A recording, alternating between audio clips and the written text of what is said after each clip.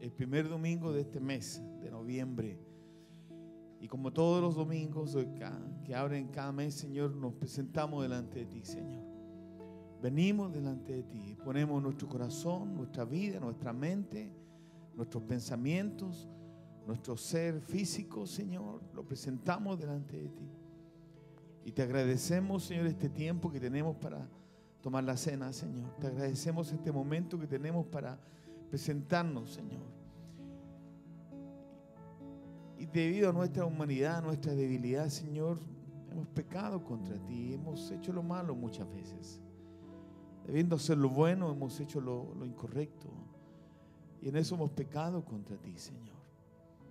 Pero venimos esta mañana, Señor, corriendo al trono de la gracia encontrar ahí el, el oportuno socorro cuando más lo necesitamos. Saber que podemos, Señor, poner nuestra cabeza en tu regazo y descansar en ti, Señor. Saber que tu corazón palpita de amor por nosotros. Y eso, Señor, nos, nos da paz. Nos da paz de saber que tú nos amas. Que a pesar de nuestra falta, tú nos amas, Señor. Gracias te damos, Señor, esta mañana y nos presentamos para que vengas, Señor, para que nos toques, nos soples, extiendas tu mano sobre nuestra frente nos bendigas. Señor, gracias te damos por la provisión de tu Espíritu Santo para con nosotros esta mañana. Dice tu palabra, Señor, ahora bien, sabemos que Dios dispone todas las cosas para el bien de quienes lo aman los que han sido llamados de acuerdo con su propósito. Porque a los que Dios conoció de antemano también los predestinó a ser transformados según la imagen de su Hijo, para que Él sea el primogénito entre muchos hermanos. A los que predestinó también los llamó. A los que llamó también los justificó. Y a los que justificó también los glorificó. ¿Qué diremos frente a esto? Si Dios está de nuestra parte, ¿quién puede estar en contra nuestra? El que no escatimonia a su propio Hijo, sino que lo entregó por todos nosotros, ¿cómo no habrá de darnos generosamente junto con Él todas las cosas? ¿Quién acusará a los escogidos de Dios? Dios es el que justifica. ¿Quién condenará? Cristo es el que murió e incluso resucitó y está a la derecha de Dios e intercede por nosotros. ¿Quién nos apartará del amor de Cristo?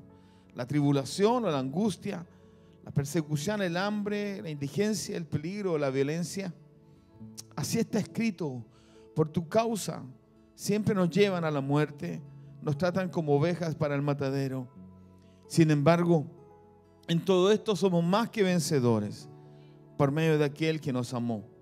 Pues estoy convencido de que ni la muerte ni la vida, ni los ángeles ni los demonios, ni lo presente, ni lo porvenir, ni los poderes, ni lo alto, ni lo profundo, ni cosa alguna en toda la creación podrá apartarnos del amor de Dios que Dios nos ha manifestado en Cristo Jesús, Señor nuestro. Padre, tomamos esta palabra para tomar este tiempo para adorarte, reconociendo, Señor, que tu amor y tu bondad están... Ah, están embargando nuestra vida, irrumpiendo nuestra vida, inundando nuestra vida, Señor. Te bendecimos y te adoramos en el nombre de Jesús. Amén.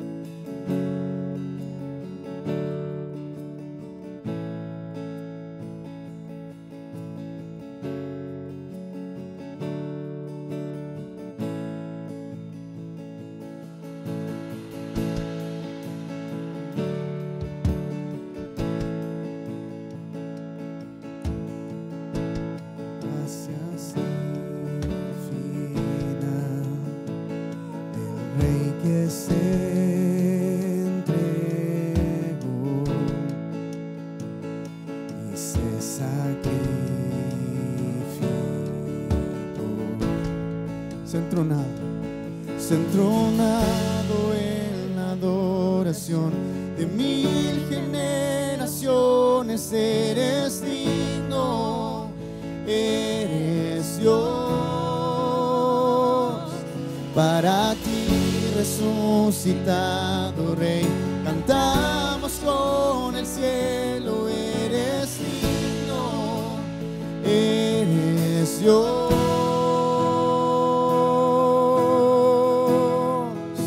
Nuestro caminar nuestro carro.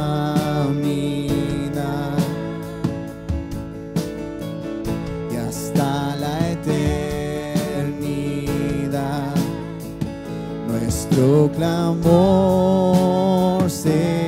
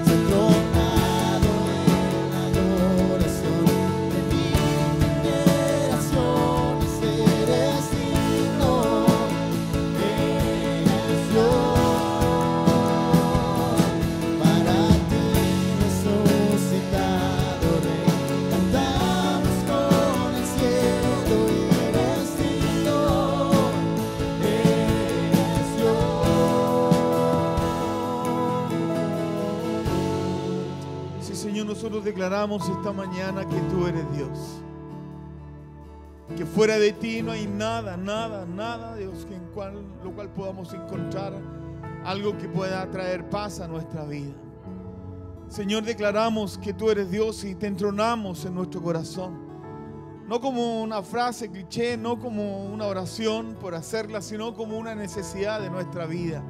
Que tú seas el rey sobre nuestro corazón. Señor, tomamos la palabra. ¿Quién nos apartará del amor de Cristo? ¿La tribulación o la angustia? ¿La persecución? ¿El hambre? ¿La indigencia? ¿El peligro o la violencia? Queridos, hemos vivido tiempos difíciles en nuestro país en este tiempo. Y hoy día abrimos este mes de noviembre celebrando o viniendo a la mesa, celebrando la cena del Señor. Pero esta es una buena pregunta para nosotros en medio de lo que vivimos como país, como nación. ¿Quién nos apartará del amor de Cristo? ¿La tribulación o la angustia? ¿La persecución, el hambre, la indigencia, el peligro o la violencia? Un texto antes, la palabra dice así, ¿Qué diremos frente a esto? Si Dios está de nuestro lado, de nuestra parte, ¿quién puede estar en contra nuestra? El que no escatimó a su propio Hijo, sino que lo entregó por todos nosotros, ¿cómo no habrá de darnos juntamente con Él todas las cosas? Somos la sal de la tierra y somos la luz del mundo. No hay otra sal que pueda salar la sociedad que esta sal que Dios derrama en medio nuestro. No hay otra luz que pueda iluminar el corazón de nuestra nación que esta luz que ilumina nuestras vidas, que es Jesús en nosotros. Así que vamos a tomar la cena, pero con un corazón diciendo, Señor, gracias por, por hacerme parte de ti. Gracias por, porque soy parte de ti, porque yo soy sal y soy luz. Amén. Vamos a venir a la cena diciendo, Señor, si nos diste, Padre, si nos diste a Jesús, siendo tu único hijo, ¿cómo no nos darás juntamente con Él todas las cosas? Vamos a venir a la mesa diciendo ni tribulación, ni hambre, ni peligro, ni espada, ni violencia, ni ninguna cosa creada, ni en los cielos, ni en la tierra, ni debajo de la tierra nos van a separar del amor de Dios en Cristo Jesús, Señor nuestro. Amén. Cuando celebramos la cena, celebramos también la victoria de Jesús en la cruz. Si Él venció, nosotros también. Amén o no amén. Así que quiero animarles a que vengan acá a la cena, a la mesa. Acérquense, por favor.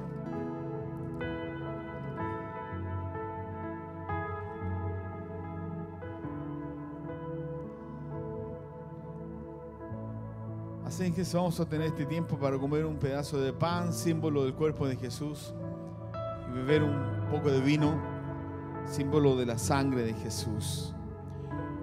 No es su cuerpo, no es su sangre, es un símbolo de su cuerpo y su sangre. Acérquense más, por favor.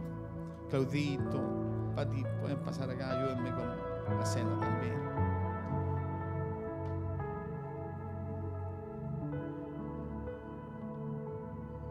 Rodolfito, Nati, pueden dejar a Benja con la, con la, la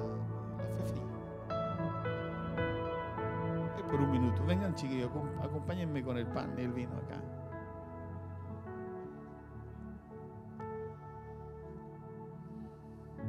La palabra dice que podrán caer mil. ¿Qué dice la palabra? Caerán mil y diez mil, ¿verdad? Pero a nosotros no nos toca, somos somos la iglesia. Ni aún la puerta del infierno y de la muerte va a prevalecer en contra de la iglesia. Somos el vehículo que Dios emplea para traer su reino aquí en la tierra. Somos la expresión del reino de Dios aquí en la tierra. Y el venir un día como hoy a comer el pan y beber el vino es también decir, Señor, nos alineamos contigo. Cada vez que nos reunimos, tomamos este pan y este vino, simbolizamos tu cuerpo y tu sangre no, solo muerte, la, no solamente la cruz, sino también la victoria, sino también saber que Dios nos ha entregado un ministerio que es el de la reconciliación, el ser pacificadores, el vencer el mal con el bien. Y la cruz es un símbolo de todo eso. Amén. Así que los invito a cerrar sus ojos un momento. Padre, oramos en esta mañana y venimos delante de ti, Señor, conscientes que Muchas veces hemos hecho lo malo delante de tus ojos. Debiendo ser lo bueno, hemos hecho lo incorrecto. Venimos esta mañana a pedirte que perdone nuestro pecado, que perdone nuestra maldad, que perdone nuestro silencio, que perdone nuestra timidez, que perdone, Señor, todo aquello que no te agrada. Y, confiadamente en, en tu palabra que dice que si confesamos nuestros pecados, tú eres fiel y justo para perdonar nuestro pecado y limpiarnos de toda maldad. Señor, nosotros abrazamos tu gracia, abrazamos tu amor, abrazamos tu corazón, abrazamos el encargo de tu corazón para nuestro país. Abrazamos, Señor, este tiempo. Es el tiempo en que la iglesia resplandece. Una luz se pone en lo alto de una colina para iluminar la ciudad, Señor. Y para que al ver los hombres las buenas obras de lo que la iglesia hace, glorifiquen tu nombre, Padre nuestro. Venir a, tomar la cena es encontrarnos contigo, recibir esa, gra- esa gracia, ese amor y ese perdón infinito. Pero también es recibir el encargo, la encomienda, recibir la tarea, la misión, la comisión. Señor, recibir el propósito tuyo para nosotros de por qué cruzaste tu camino con nuestro camino. Y hoy nuestra nación necesita una iglesia que se levante en la oración, en la intercesión, en compartir el pan y el vino, confiando plenamente que esto no está fuera de control para tus hijos de Dios. Padre, oramos en el nombre de Jesús que nos bendigas este momento. Comeremos el pan, beberemos el vino, lo haremos con alegría de corazón, lo haremos, Señor, bajo la profunda convicción que tú has perdonado nuestro pecado y bajo la profunda convicción que este tiempo que estamos viviendo en la historia de nuestro país es el tiempo de la iglesia, es el tiempo de los hijos de Dios. Te agradecemos este momento, Padre. Bendecimos tu nombre. En el nombre de Jesús. Amén. Pueden pasar a servir el vino y el pan, por favor.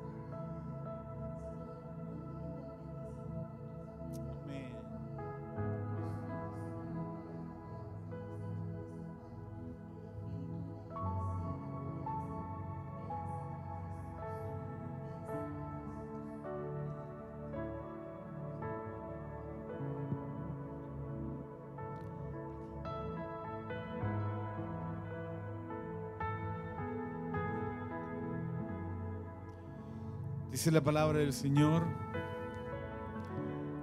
que aquella noche en que Jesús fue traicionado, tomó pan como este, era más grande, sí, ¿eh? este es más chico, pero tomó pan como este pan. Dio las gracias por el pan y dijo, este pan es mi cuerpo, que por vosotros es partido. Y me cuesta no, no relacionar el pan con el cuerpo de Jesús y nuestro país. Porque la palabra dice que el Padre nos dio el ministerio de la reconciliación, que debíamos reconciliar al hombre con Dios. Y el problema en nuestro país es que el hombre no está reconciliado con Dios. Y este pan representa el cuerpo de Jesús, que por nosotros fue partido, molido, maltratado y también por la humanidad. Vamos a comer el pan vamos a beber el vino, vamos a anunciar la muerte de Jesús, su resurrección y también su regreso. Y vamos a anunciar que la iglesia, el cuerpo de Cristo, está conectada con el corazón del Padre para hacer lo que el Padre anhela que hagamos. Padre, tu palabra dice que aquella noche en que fuiste traicionado, Jesús, tomaste pan como este pan, lo partiste y diste gracias. Y dijiste, este pan es mi cuerpo que por vosotros es partido. Hoy partimos este pan, Señor, símbolo de tu cuerpo. Tu palabra dice en el profeta Isaías que fuiste molido, maltratado, golpeado, que no abriste tu boca, que fuiste como un cordero llevado al matadero, porque había algo mucho mayor delante de ti. Éramos nosotros en este lugar, éramos nuestro país, éramos los millones de chilenos que hoy oramos por nuestra patria. Padre, gracias por este pan, porque simboliza tu cuerpo partido, molido, golpeado, maltratado por nosotros y por los que aún no te conocen. Padre, gracias por este pan. Gracias por la provisión de tu vida para darnos vida a nosotros. Gracias porque abriste un camino vivo y nuevo a través del velo y pudimos entrar al trono de la gracia con libertad las veces que queramos, todos los días si quisiéramos. Nunca más un sacerdote, alguien que hiciera de intermediario, sino algo que fuera íntimo con tu corazón, Señor. Bendecimos este pan, lo tomamos con alegría y te rogamos, Señor, que nos bendigas en este momento. Tomo pan como este pan dio las gracias, lo partió y dijo, este pan es mi cuerpo, que por vosotros es partido. Lo tomamos con gratitud, Padre. Lo recibimos con alegría. En el nombre de Jesús. Amén. Puedo comer el pan.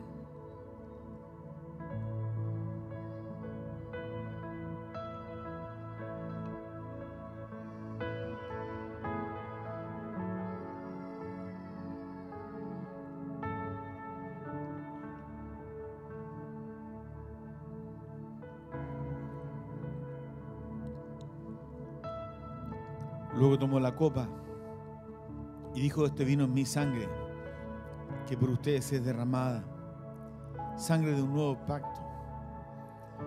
Este es un símbolo de su sangre, ¿verdad? No es su sangre, es un símbolo de ella. Pero sangre que habla de un nuevo tiempo, sangre que habla de, de sanidad, de restauración, de reconciliación. Sangre que habla de abrir un camino nuevo para todos nosotros y para nuestros compatriotas en Chile. Sangre que habla más fuerte que la de Abel. Sangre que habla de libertad, de sanidad, de restauración, de reencontrarnos. Sangre que habla de perdón y de olvido. En el nombre de Jesús. Sangre que habla, las cosas viejas pasaron, todas son hechas nuevas. Mm. Padre, gracias por este vino, símbolo de tu sangre con alegría, con gozo, con esperanza, con fe en ti. Señor, con toda expectativa en ti de lo que tú harás con nosotros. Señor, gracias te damos por este vino. después de comer el pan, tomó la copa y dio gracias. Este vino es mi sangre, que por ustedes es derramada. Bendito sea Jesús. Bebamos el vino en el nombre de Jesús. Amén.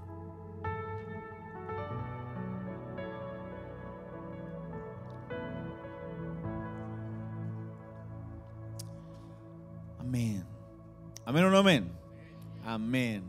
Aprovecho unos minutitos para saludarnos. Vamos con toda nuestra reunión. El Señor está con nosotros esta mañana.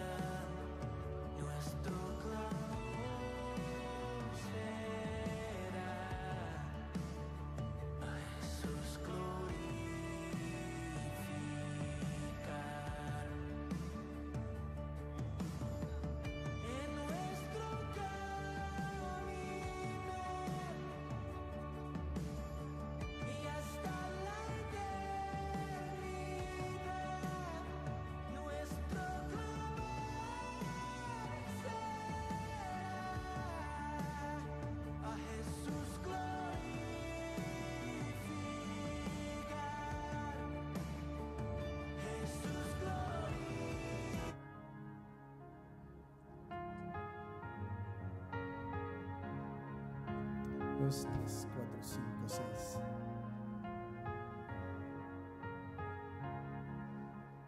Dos, tres, dos, tres.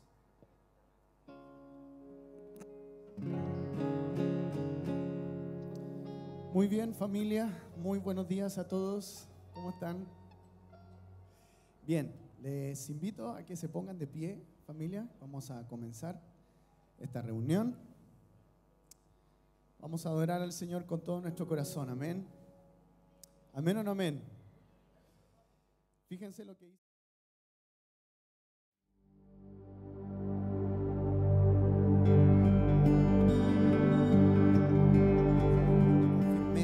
jamás será removido. Él juzga a los pueblos con equidad. Alégrense los cielos, regocíjese la tierra. Brame el mar y todo lo que él contiene. Canten alegres los campos y todo lo que hay en ellos. Canten jubilosos todos los árboles del bosque. Imagínense si le habla a los árboles, cuánto más a nosotros. Canten delante del Señor, que ya viene. Viene ya para juzgar la tierra y juzgará al mundo con justicia y a los pueblos con fidelidad. Amén.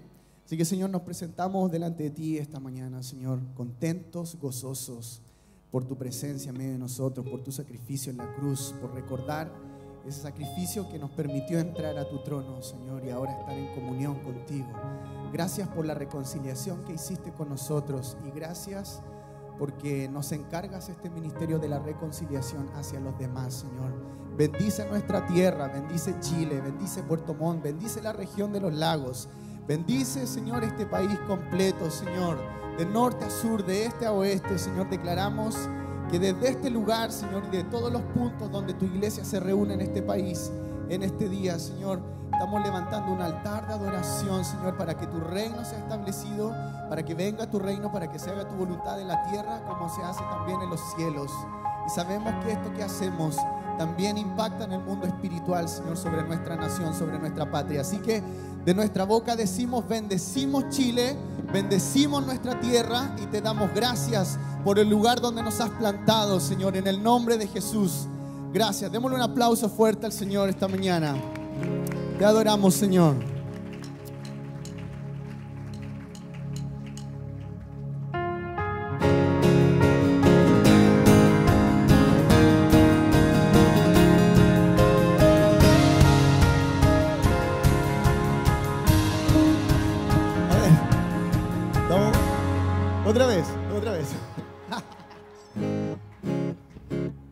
¿Estamos aquí o no? Ahí.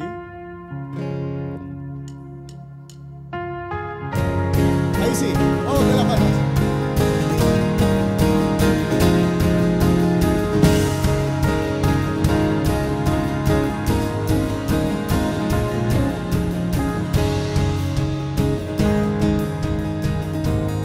Creo que estamos.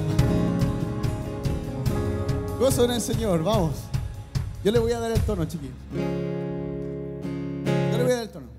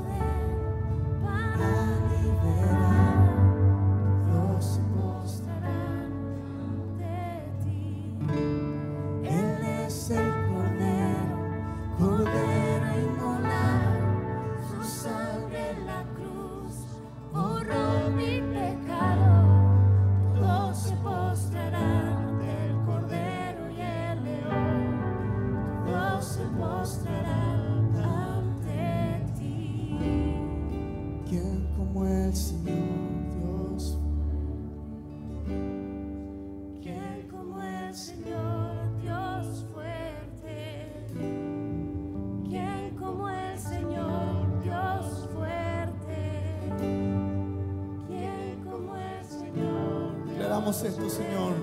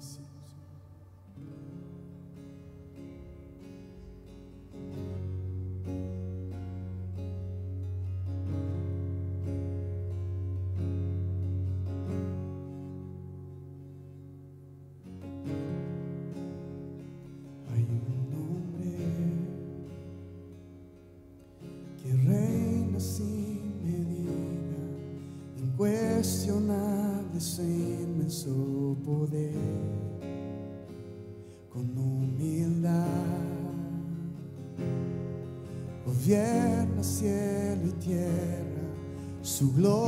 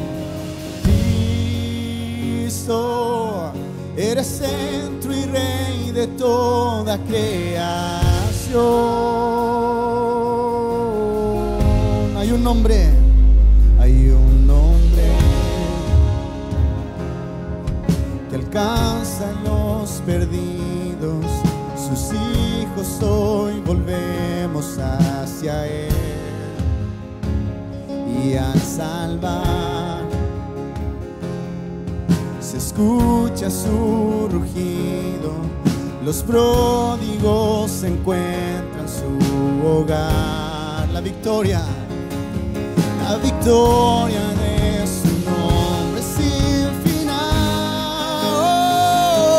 Oh, Cristo, entronado sobre nuestra adoración.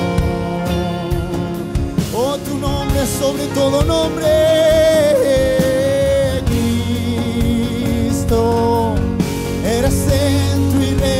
que toda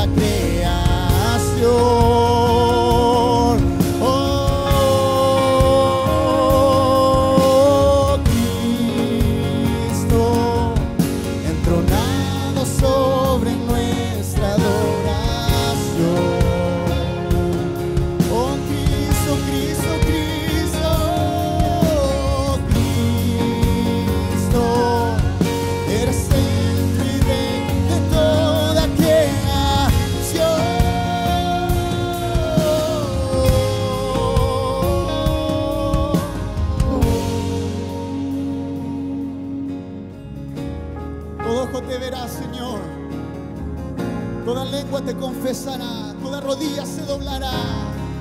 Declaramos proféticamente sobre nuestra tierra. Oh, todo lo verá, toda lengua confesará. Oh, oh, Todos con lo verá. Todos con lo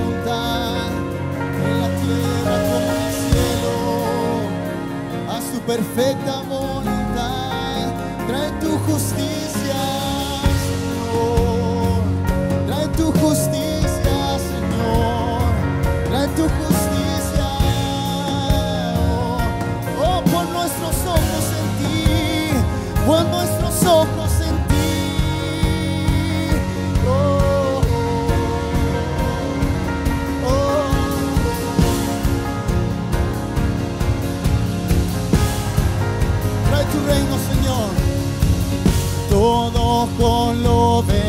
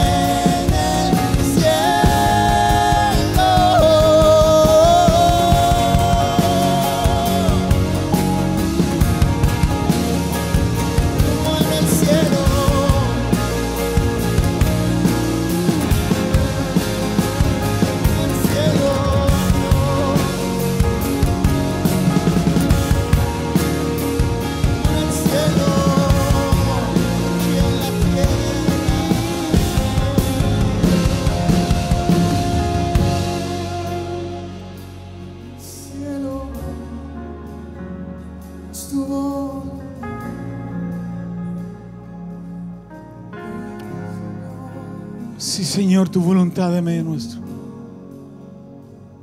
Tu palabra dice, ustedes deberán orar así. Padre nuestro que estás en el cielo, santificado sea tu nombre. Venga tu reino, hágase tu voluntad en la tierra como en el cielo. Danos hoy nuestro pan cotidiano. Perdónanos nuestras deudas como también nosotros hemos perdonado a nuestros deudores. Y no nos dejes caer en tentación, sino líbranos del maligno. Padre, estamos cantando que se haga tu voluntad hacia los cielos como en la tierra. Y estamos pensando, Señor, en nuestra nación, en nuestro país. En el nombre de Jesús todo espíritu de odio, de rencor, de maldad, de robo, todo espíritu de resentimiento, todo espíritu, Señor, de, de recuerdos imborrables en el nombre de Jesús, lo resistimos, Señor. Señor, nos unimos a millones de millones de chilenos en esta hora, en distintos lugares de nuestra nación, en lugares más escondidos, Señor, oramos por nuestra patria, oramos por nuestra tierra, oramos por nuestro pueblo, oramos por Chile en el nombre de Jesús. Padre, bendice nuestra tierra, bendice nuestra tierra en el nombre de Jesús. Bendice a quienes están en autoridad, Dios nuestro. Bendice a quienes están en el parlamento legislando en el nombre de Jesús. Padre, pon en ellos un espíritu, Señor, de generosidad, de humildad, Padre, bendice las calles de Chile en el nombre de Jesús. Bendice las plazas, los lugares donde las personas se reúnen. Bendícelo en el nombre de Jesús. Que un espíritu mayor venga sobre nuestra tierra en el nombre de Jesús. Que en esta época de la historia levanta tu iglesia con una voz profética. Levanta tu iglesia con una voz, Señor, que marque rumbo, que marque destino, que hable de propósito. Levanta tu iglesia con una palabra de paz. Padre, levanta tu iglesia, crea instancias sobrenaturales, Señor, para que tu iglesia, Señor, ilumine Dios nuestra nación. Que se cumpla la escritura, Señor, que somos la sal de la tierra, la luz del mundo. Y que una luz se pone en lo más alto de una colina para alumbrar a todos los que están en la ciudad. Para que al ver los hombres esta luz que brilla, vean vuestras buenas obras y glorifiquen a vuestro Padre que está en los cielos. En el nombre de Jesús, que se haga aquí tu voluntad, Señor.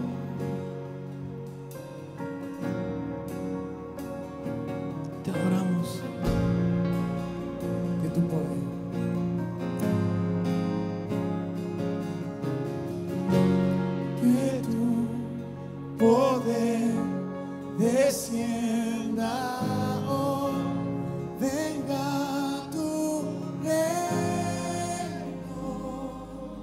Nosotros tu reino. Que se haga aquí tu voluntad. Sí, Señor.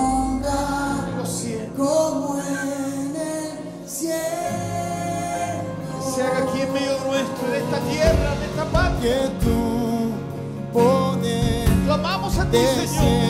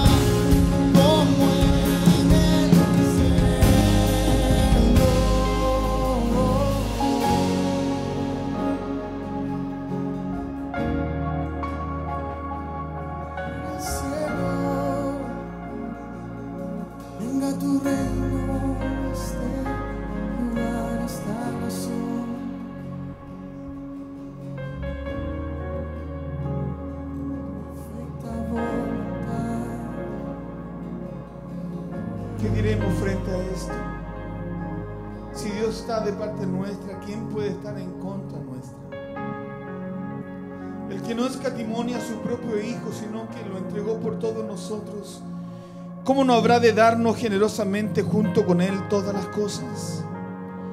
¿Quién acusará a los que Dios ha escogido?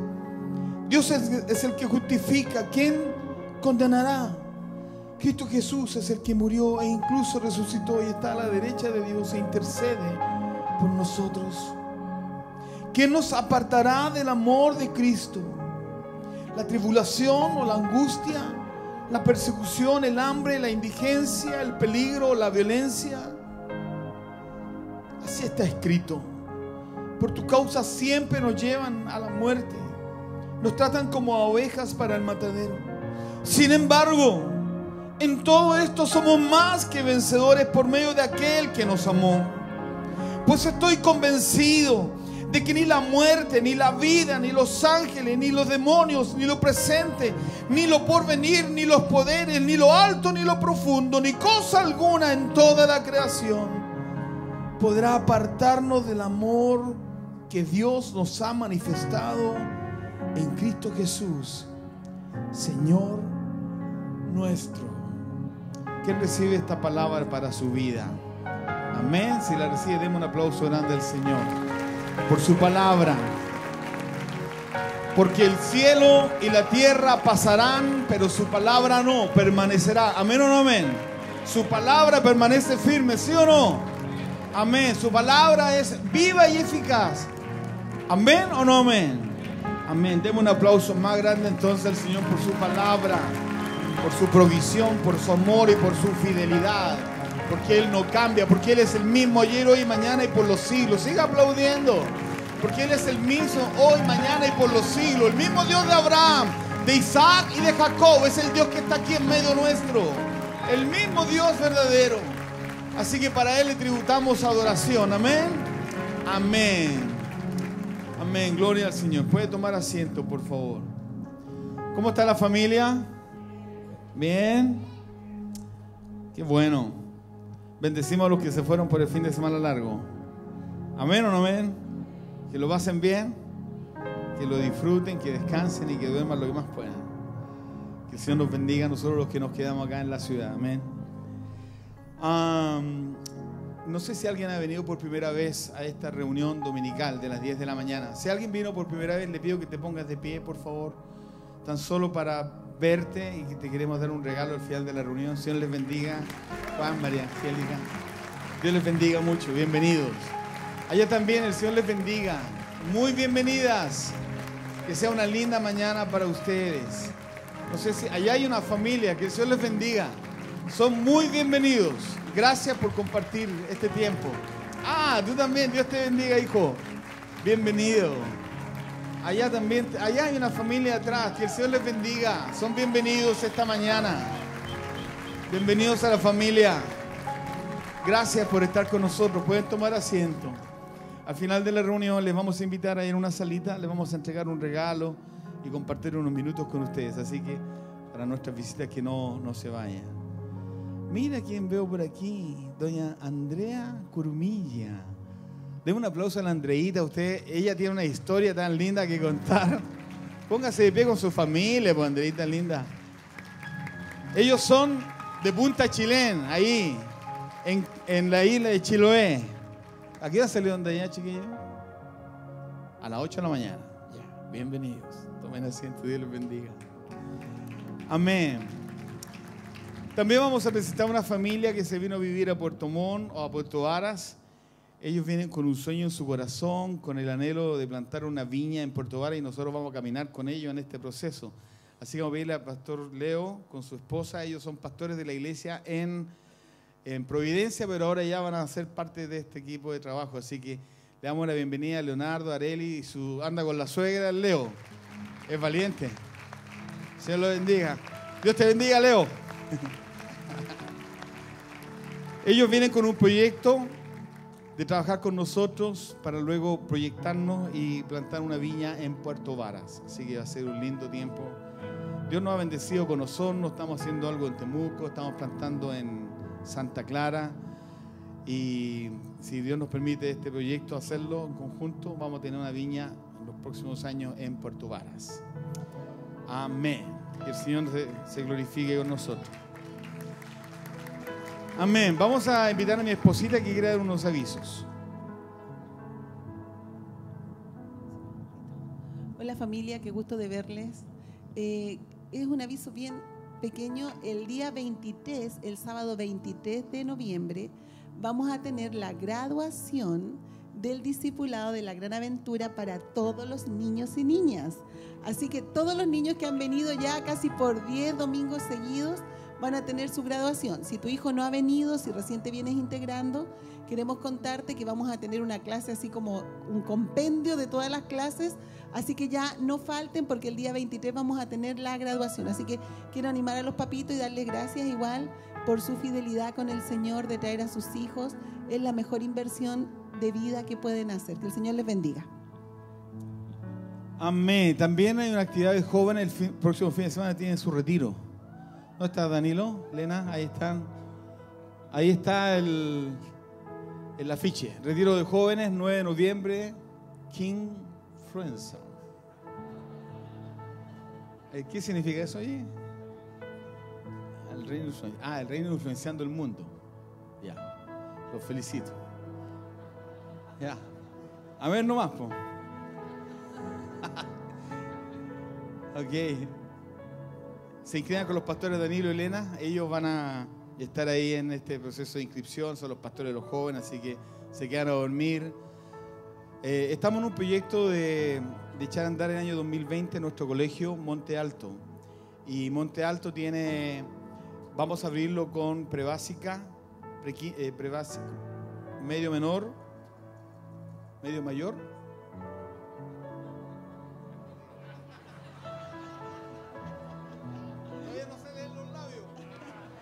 Ya, lo que pasa es que vamos a, nuestro colegio Educa Monte Alto eh, va a partir, pero con Tuti, si el Señor lo permite, ya ahora el próximo año. Vamos a tener dos grupos etarios de medio mayor, prekinder y kinder, va a ser el primer grupo, y el segundo grupo va a ser primero y segundo básico. Estamos trabajando con un proyecto diferente que se llama es Educación basada en proyectos, ¿ya? Así que va a ser muy bueno. Nuestras educadoras las estamos capacitando, una de ellas se va a Argentina ya la próxima semana para ver un modelo allá muy innovador de la iglesia de Mariano Senegal, del papá de Mariano, los que lo conocen, así que Dios está en esto con nosotros y queremos animarte igual a los que tienen papás, niños entre medio mayor y segundo básico. Este colegio Educa Monte Alto es un proyecto que sabemos que nace en el corazón de Dios y el día sábado 16 vamos a tener eh, algo para los papás para explicarles de qué se trata. Así que eso, que el Señor les bendiga. Ok. Bueno, yo lo que quería decir respecto al Educa Montalto es que alfombramos todo el segundo piso, hicimos unas divisiones. Así que si quieren subir más rato, terminar la reunión, pueden conocer el lugar donde tenemos la sala de clase que la estamos habilitando. Y después de la reunión tendremos nuestra segunda reunión y en la segunda reunión vamos a tener bautizos. Así que hay varios hermanos que se van a bautizar hoy y los vamos a hacer en el galpón del niño, un espacio que hemos ido habilitando a poco Así que nos vamos a reunir allá después, una vez que hagamos nuestro tiempo de oración acá y después nos vamos al galpón por si alguien quiere quedarse a compartir con aquellos que se van a bautizar. Bien, quiero verte que te pongas de pie un minuto, vamos a orar por sanidades. Si alguno de ustedes tiene una dolencia o algo físico, pueden levantar tu mano, por favor. Y aquellos que tienen su mano levantada, me gustaría que nos acercáramos a ellos. Por favor, hagamos un esfuerzo, caminemos a nuestro alrededor, busquemos quienes tienen su mano levantada. Y vamos allá también, por favor. Rosita, Marisol, allá al frente. Tienen varias personas. Eso, gracias, Boris. Con su mano, sigan su mano, su, mano levantada, por favor. Eh, allá atrás también Rogelio, con su esposa, Cecilita. Alguien tiene su mano levantada. Todos tienen, tienen alguien a su lado para orar. Amén. Padre, oramos en el nombre de Jesús. Para que tu palabra se cumpla esta mañana. Tu palabra dice, Señor, que estas señales seguirán a los que creen. Impondrán las manos sobre los enfermos y estos recobrarán la salud. Impondrán las manos sobre los enfermos y estos recobrarán la salud. Padre, en el nombre de Jesús resistimos toda enfermedad, toda enfermedad, todo espíritu toda dolencia en el nombre de Jesús, afecciones cardíacas, afecciones, cánceres declarados, los cancelamos en el nombre de Jesús. Establecemos tu reino ahora aquí en medio nuestro. Padre, oramos para que tu perfecta voluntad, como sucede en los cielos, esté sucediendo ahora, aquí en la tierra, en la vida de los hermanos cuyas manos están levantadas. Traen sanidad sobre ellos. Una restauración física en el nombre de Jesús. Una restauración emocional en el nombre de Jesús. Una restauración de sus cuerpos en el nombre de Jesús. Padre, declaramos en este lugar, en este ambiente de tu reino, en esta presencia tuya manifiesta, declaramos sanidad sobre nuestros hermanos en el nombre de Jesús. Señor, que tu perfecta voluntad ahora esté ocurriendo, Señor, viniendo, Señor, esa sanidad que viene de lo alto. En la presencia tuya no hay enfermedad. En el reino de los cielos no hay enfermedad. Trae, Señor, la sanidad sobre tus hijos esta mañana. En el nombre poderoso de Jesús. Amén. Y amén. ¿Quién cree que Dios ha hecho un milagro de sanidad esta mañana sobre la vida de los hermanos? Amén. Amén. Recibimos sanidad en el nombre de Jesús. Y puestos en pie, vamos a levantar las ofrendas. Vamos a orar. Padre, queremos tomar nuestras ofrendas esta mañana, nuestros diezmos. Tomamos la palabra, Señor si tú no escatimaste ni siquiera a tu propio Hijo, ¿cómo no nos darás junto con Él todas las cosas? Padre, en el nombre de Jesús.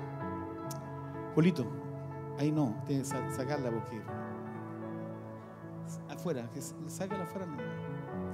Señor, oramos en el nombre de Jesús por esto. Así como tú haces tu perfecta voluntad de los cielos, hazla también aquí con nosotros en este tiempo para dar. No escatimaste ni siquiera a tu, propio, tu propio Hijo. ¿Cómo no nos darás también con Él todas las cosas? Y ponemos nuestra economía delante de ti.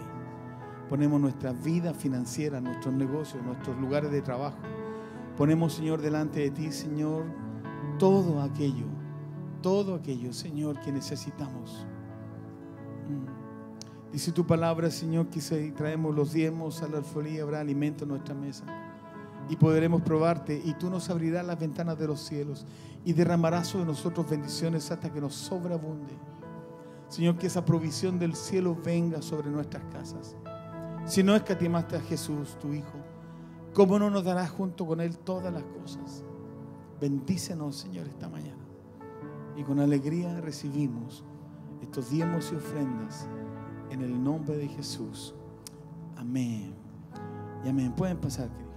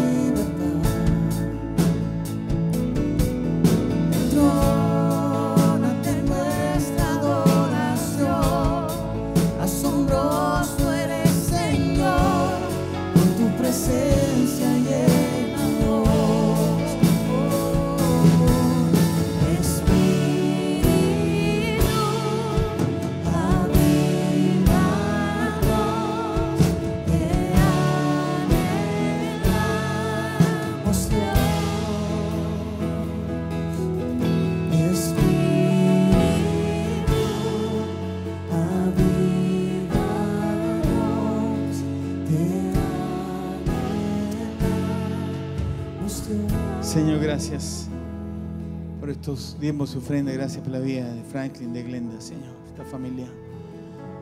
Tomamos estos dineros, Señor, con gratitud y también con temor. Oramos pidiendo que nos des sabiduría, inteligencia para administrarlo de la mejor manera. Y Señor, bendice la iglesia, bendice a los hermanos. Señor, provee para ellos. Sorpréndeles esta semana.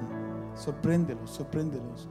Que este acto de dar abra una puerta sobre sus vidas de provisión, de bendición.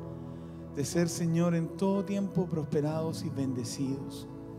Gracias por estos momentos, Dios, donde podemos recibir de la mano de tus hijos. Y se cumplirá la palabra que hay más dicha en dar que en recibir. En el nombre de Jesús. Amén. Gracias, Franklin.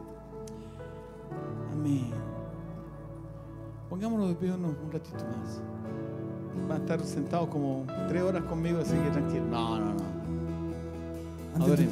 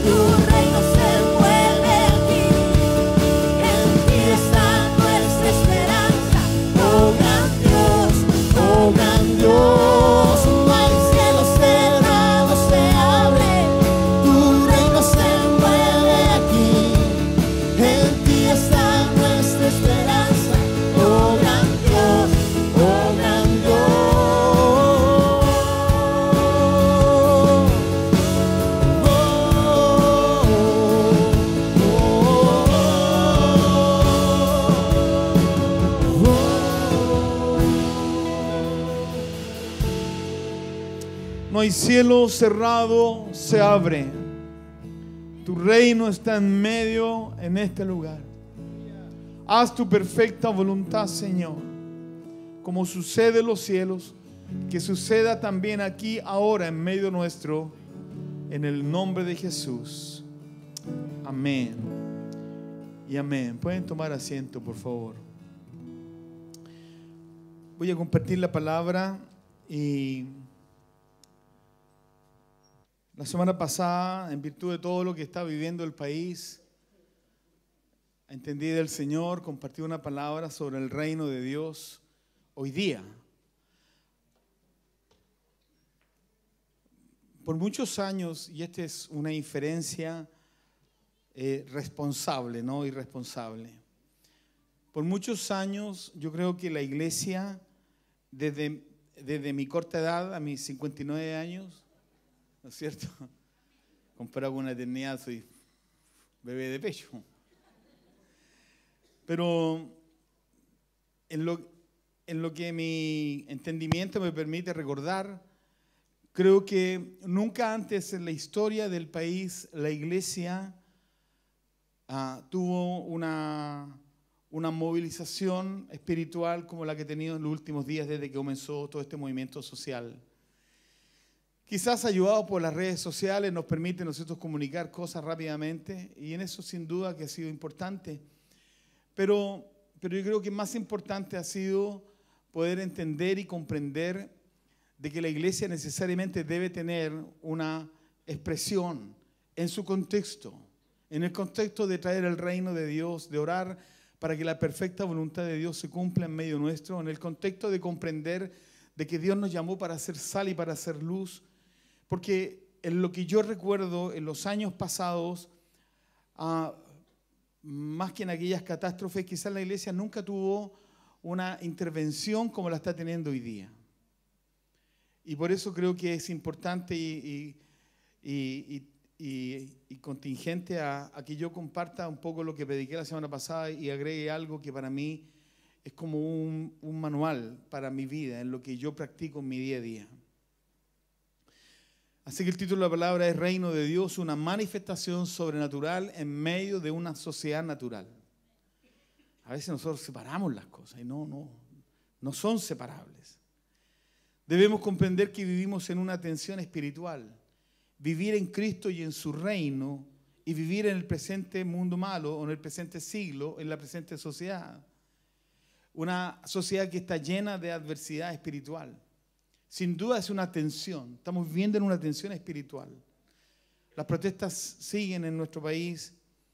Ah, quizá ha declinado un poco, pero sigue el movimiento social intenso y un segmento de ese movimiento social con un firme objetivo de poder ah, quebrar la institucionalidad de la nación, el Estado, quebrarlo y traer un diseño que en todo el sentido es totalmente alejado de lo que Dios anhela para los pueblos.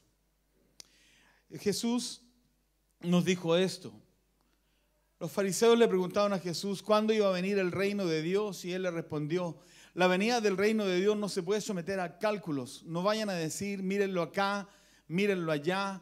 Dense cuenta de que el reino de Dios está entre ustedes. El reino de Dios está en medio nuestro. ¿Por qué oramos hace un rato atrás y pusimos las manos sobre las personas que están enfermas? Porque nosotros estamos seguros que donde está la presencia de Dios hay plenitud de vida. Y una enfermedad está fuera de ese concepto de la plenitud de vida. Entonces al imponer las manos le echamos mano también a lo que el Señor dijo, que estas señales seguirán a los que creen, impondrán las manos sobre los enfermos y estos recobrarán la salud. Y el Señor no se tiró ningún carril. Él dijo, esto es lo que va a suceder a los que creen. Entonces, esa es una manifestación del reino, es la voluntad de Dios, como sucede en los cielos, sucediendo aquí en la tierra. Y nosotros muchas veces, en medio del presente ánimo que vive la nación, con un espíritu de estupor, un espíritu de temor, un espíritu de inseguridad, un espíritu de, de deses- deses- desesperanza, un espíritu de tenerle temor a lo malo, nosotros en alguna medida inevitablemente, no sé si a usted le pasa, pero a mí me ha pasado que inevitablemente, después de ver todo lo que estamos viendo en la, televisión, en las redes sociales, y al ver tanta violencia, uno dice, Señor, ¿qué va a pasar? Y- y andan audios, miles de audios, miles de audios hablando de malas noticias sobre nuestra nación, miles de audios, no pocos. Y en ese ambiente, ¿dónde está el reino de Dios contigo? ¿Dónde está tu expresión de reino? ¿Dónde está tu fe? ¿Dónde está tu convicción que Dios está contigo? ¿Dónde está la convicción que dice que caerán mil y de mil a nuestra diestra, pero a nosotros no nos va a tocar? Si viviéramos cosas mortíferas, no nos hará daño. ¿Dónde está la convicción del libro, lo que leímos de Romanos, que, que si el Señor nos catimó a Jesucristo su Hijo y lo dio por todos nosotros, ¿cómo no nos dará juntamente con Jesús todas las cosas? ¿Quién nos separará del amor de Dios? ¿Quién nos condenará? Y, agrega adelante, ni tribulación, ni angustia, ni peligro, ni hambre, ni persecución, ni espada, ni violencia, ni ninguna cosa creada en los cielos, en la tierra, ni aún debajo de la tierra, nos podrán separar del amor de Dios en Cristo Jesús, Señor nuestro. ¿Quién cree eso? Si usted lo cree, es el reino de Dios viniendo sobre su vida. Es la manifestación del reino. Así que en virtud de este texto, de que el reino de Dios estaba entre nosotros, no que teníamos que esperar que llegara, enseñamos al menos cuatro segmentos de los cuales les voy a caminar rápido. El primero, dijimos, el reino de Dios como para fortalecer la idea que vivimos en el presente mundo malo, pero el reino de Dios viniendo en medio del presente mundo malo. Dijimos, el reino de Dios está cerca, Marcos 1.15, el reino de Dios está entre nosotros, Lucas 17, 20, 21, el reino de Dios vendrá como un evento futuro, un evento que vino, un evento que es presente y un evento que está en medio de nosotros. Una, un, un evento que está sucediendo ahora, que va a suceder mañana cuando Jesús venga por segunda vez en la tierra y establezca su reino aquí en la tierra y a la luz de todas las naciones va a gobernar. ¿Quién lo cree? Así dice la palabra. Entonces, cuando hablamos de reino, estamos hablando de algo que está cerca, de algo que, que, está entre nosotros, de algo que va a venir en el futuro, de algo que ya llegó, de algo que está en medio de nosotros. ¿Y por qué fortalecimos esta idea? Por esto. Podemos concluir que vivimos en el presente mundo malo, pero con una manifestación del reino de Dios que podría expresarse ayer, hoy, mañana o en cualquier momento. Desde esta perspectiva debemos comprender que vivimos en la manifestación inmediata del reino de Dios, en un mundo espiritualmente antagonista o contrario. En otras palabras, dijimos, estamos experimentando el poder del siglo venidero. Cuando Jesús venga con toda su gloria por segunda vez, todo su poder se va a manifestar. Pero dice la palabra que el poder del siglo venidero, esa manifestación está hoy día en medio nuestro. Cuando oramos por alguien y recibe sanidad. Cuando Dios restaura una relación matrimonial. Cuando Dios restaura económicamente una familia. Cuando Dios saca a una persona de una adicción y la traslada a una vida plena. Ese es el reino de Dios viniendo a cada uno de esos ejemplos. Podemos ver el reino de Dios viniendo a través de los milagros, todos los milagros que hemos visto, sanidades, conversiones sorprendentes, provisión material sobrenatural, realización de sueños imposibles, materialización de planes en la vida de muchos, restauración de relaciones, cambios conductuales profundos y sorprendentes. Ayer compartíamos con una familia en nuestra casa y, le relatamos cómo Dios nos trajo a este lugar y cómo en 14 años Dios nos ha permitido comprar todos estos espacios de tierra y donde estamos desarrollando un proyecto, un hogar de niños, una casa acogida para niñas embarazadas, adolescentes, un galpón del niño, este edificio, el centro médico, la ONG, educación, Monte Alto, lo que, lo que hemos hecho en adicciones, lo que hemos hecho con inmigrantes, todo este trabajo no hubiese podido ser si no hubiese sido a través de una manifestación de Dios viniendo. Solo Dios podría haber provisto todo lo que ha provisto, porque es un milagro, nadie me cree cuando yo cuento la historia.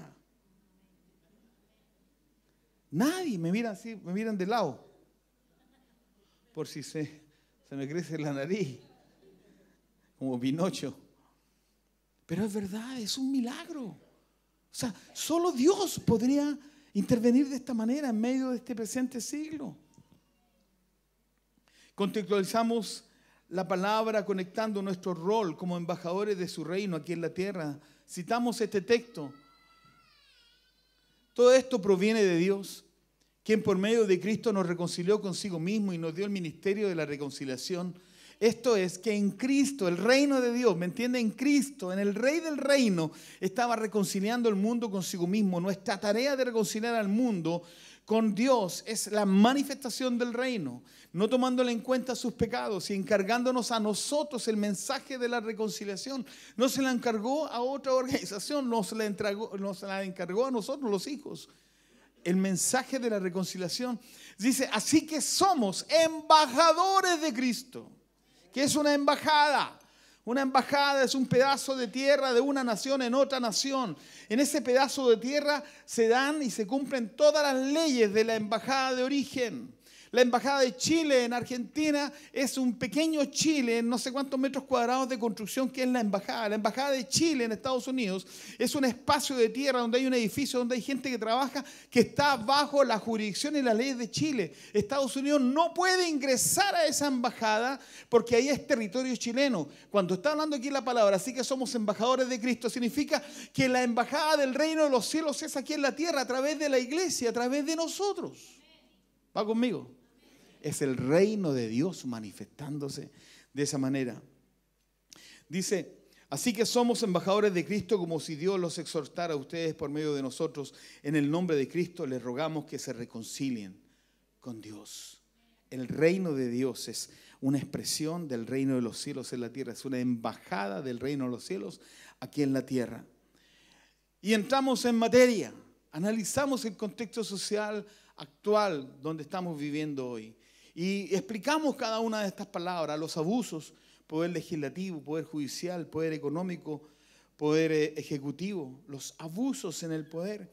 Hablamos de desigualdades, que a partir de estos abusos han existido desigualdades y las brechas se han ido alejando cada vez más, aunque hay varios aspectos que no los voy a tocar ahora porque son más técnicos, pero que podríamos decir que es, es cierto que hay desigualdades, pero quizás somos la única nación en Latinoamérica que tiene menos desigualdades que otras naciones en, en algunos aspectos, como la vivienda, la educación, el alfabetismo, etc. Hablamos de los derechos, de, de por qué existe la Declaración Universal de Derechos Humanos y cómo la Constitución de Chile la tiene íntegramente incorporada. y cómo el concepto del derecho fue caminando a través de la historia y al final nos fuimos empoderando con la idea que yo tengo derecho, derecho a estudiar, derecho a disentir, derecho a la seguridad, derechos, derechos, derechos. Pero nos fuimos quedando mirando de lejos cuáles fueron los deberes y cuáles son nuestros deberes. Y por eso dijimos que la iglesia era una piedra en el zapato para la sociedad actual, porque la iglesia enseña más de deberes que derechos, porque los derechos nuestros están juntamente cru- crucificados en Cristo. Porque mi derecho a levantarme y protestar está en Cristo crucificado. Mi derecho a decir no está en Cristo crucificado. Más tengo un deber, el deber de amar, el deber de perdonar, el deber de correr la milla extra, el deber de manifestar el reino, el deber de mostrar a Cristo. Por eso que dijimos que la iglesia era como una piedra en el zapato y terminamos hablando de laicismo. Y dijimos, la gran meta del laicismo es establecer una sociedad sin Dios. En otras palabras, construir una sociedad sin la participación de la iglesia en la toma de decisiones. Y este año 1925 se separó la iglesia del Estado. Ese día, ese día se entendió que la iglesia no podía participar de nada que tuviera que ver con el, con el Estado. Pero, a partir de todas estas leyes antivalóricas, la iglesia tuvo que manifestarse y expresarse. Y en esa expresión tuvimos que decir, no estamos de acuerdo con esto, no estamos de acuerdo con lo otro, esto no es correcto, esto es antivalórico, nosotros estamos por la vida, no por el aborto, nosotros estamos conforme al diseño de Dios, no conforme a la sociedad imperante. Entonces nos fuimos transformando en una piedra en el zapato. Hicimos tres grandes preguntas. ¿En qué medida me siento abusado, en desigualdad, quitándome mis derechos, delegando mis deberes y viviendo como un, como un laicista? ¿Por qué hicimos esta pregunta? Porque muchos de nosotros podemos participar de todo lo que está viviendo la sociedad hoy día y salir a expresar nuestro descontento y nuestra frustración por las cosas que pasan en Chile. Pero no podemos olvidar que nosotros somos parte del reino de Dios aquí en la tierra. Preguntamos qué rol cumple Jesús en mi manera de vivir. ¿Qué es el reino de Dios para mí concretamente? ¿Por qué hicimos estas preguntas? Porque es importante entender que vivimos en el presente mundo malo, pero no pertenecemos al presente mundo malo. Jesús dijo, yo les he entregado tu palabra y el mundo los ha odiado porque no son del mundo, como tampoco yo soy del mundo. Dice, no te pido que los quites del mundo, sino que los protejas del maligno. Ellos no son del mundo como tampoco lo soy yo. Y dijimos que la palabra mundo era palabra cosmo y cosmos significa sistema, el contexto social, el cosmos, lo que nos rodea. No somos de esta escala valórica. No tenemos estos parámetros para medir la vida. No tenemos esta concepción de la vida como la tiene la sociedad en la cual estamos. No participamos de esto porque nosotros tenemos un diseño dado por Dios y abrazamos lo que la Biblia dice y la enseñanza que Jesús nos da. Podemos vernos como bichos raros, podemos vernos como gente irre- irresponsable, podemos vernos como gente que no hace nada para cambiar el status quo, pero la verdad de las cosas es que sí hacemos mucho, mucho más de lo que la gente piensa. Yo fui invitado sorpresivamente por el director del diario El Yanquihue a una actividad que hicieron con 15 personas. Hoy día salió por si acaso en el Yanquihue, en las páginas interiores, como cuatro o cinco páginas sobre este tema, y ahí aparece parte de lo que yo dije. Y, y me invitaron por ser parte de un actor social, en el contexto social en el cual estamos. Y alguien podría decir, sí, yo voy para allá y doy mi opinión como evangélico. Pero no, yo fui a dar mi opinión como la opinión del reino de Dios aquí en la tierra. Yo fui a expresar y manifestar lo que yo pensaba respecto de una perspectiva bíblica. Y hablé de tres cosas. Le dije, yo, mi exposición son tres ejes. El primero, la responsabilidad social individual. El segundo eje, derechos y deberes. Y el tercer eje, laicismo o una sociedad sin Dios. Y sobre esos tres ejes yo tuve mi posibilidad de exponer. Hoy día salió gran parte de eso, salió en el diario. La pregunta es, ¿fue una participación, fue una intervención, fue una cuestión ocasional? No. Fue la oportunidad de manifestar el reino de Dios en medio de ellos. Hablarles del rey del reino. Enseñarles y manifestarles que yo puedo disentir, yo puedo discutir, yo puedo eh, hablar y teóricamente denunciar una solución al problema social, pero si yo no me involucro personalmente con las personas, si no me hago cargo de la necesidad de las otras personas, esto es pura teoría, pura retórica, puro bla bla, puro tollo. Es verdad. Hoy día nosotros somos una comunidad que está conectada con lo social. O sea, somos una comunidad que estamos involucrados para traer una solución. ¿Cuánta gente recibió a Jesús en su corazón a través del trabajo social que hacemos? Más de 12.000 personas atendían la ONG, más de 1.500 decisiones de fe. ¿Cuántas personas adultas han aceptado a Jesús en su corazón siendo estudiantes? ¿Cuántos niños hemos rescatado para Jesús a través del trabajo con sus padres? Es un trabajo social, sin duda. Sin duda, quizás si tomaran nuestro modelo, la cosa en Chile cambiaría. Amén o no amén. Cambiaría. ¿Cómo logramos vivir? Preguntamos en este contexto social. Y dijimos esto. Viviendo el reino de Dios en el presente mundo malo. Siendo sal y luz, somos la sal de la tierra, la luz del mundo. Una luz se pone en lo alto de una colina para alumbrar toda la ciudad. Y dice, así alumbre vuestra luz delante de los hombres para que al ver los hombres vuestras buenas obras glorifiquen a vuestro Padre que está en los cielos. Sí, dice la palabra. Así alumbre vuestra luz, amén o no amén. Así alumbre vuestra luz en medio de los hombres para que al ver los hombres vuestras buenas obras glorifiquen a vuestro Padre que está en los cielos. ¿Qué más dijimos? Con armas espirituales y no carnales. Porque las armas de nuestra milicia no son carnales, sino son espirituales, poderosas en Dios, para la destrucción de fortalezas. Amén o no? ¿Quién cree eso?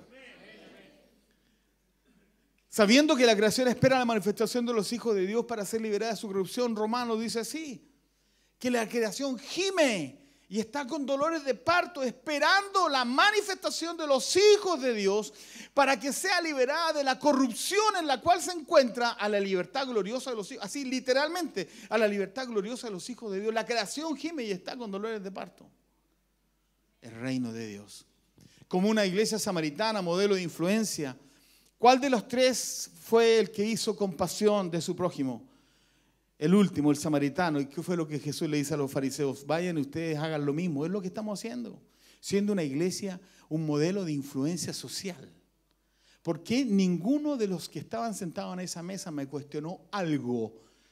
Porque yo les dije, si ustedes se metieran la mano al bolsillo y de sus recursos ayudaran a las personas, yo te creo en tu discurso.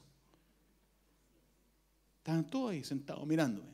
Si tú te metes la mano al bolsillo y de tu dinero, de tu bolsillo, ayudas a alguien esperando que él no venga a darte las gracias, significa que tu discurso es válido.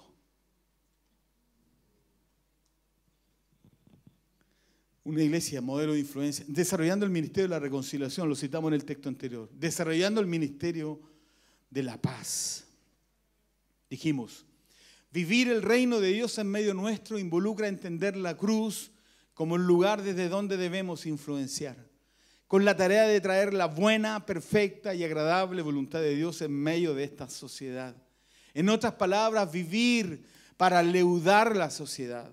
Lucas 13, 20, 21 dice, ¿con qué voy a comparar el reino de Dios? Mira, escúchame esto, interesante. ¿Con qué voy a comparar el reino de Dios? ¿Cómo lo voy a comparar? ¿Cómo lo grafico? ¿Cómo lo traigo a tierra? ¿Cómo bajo la señal? ¿Cómo lo voy a comparar el reino de Dios? Mire lo que dice, es como la levadura que una mujer tomó y mezcló con una gran cantidad de harina hasta que fermentó toda la masa.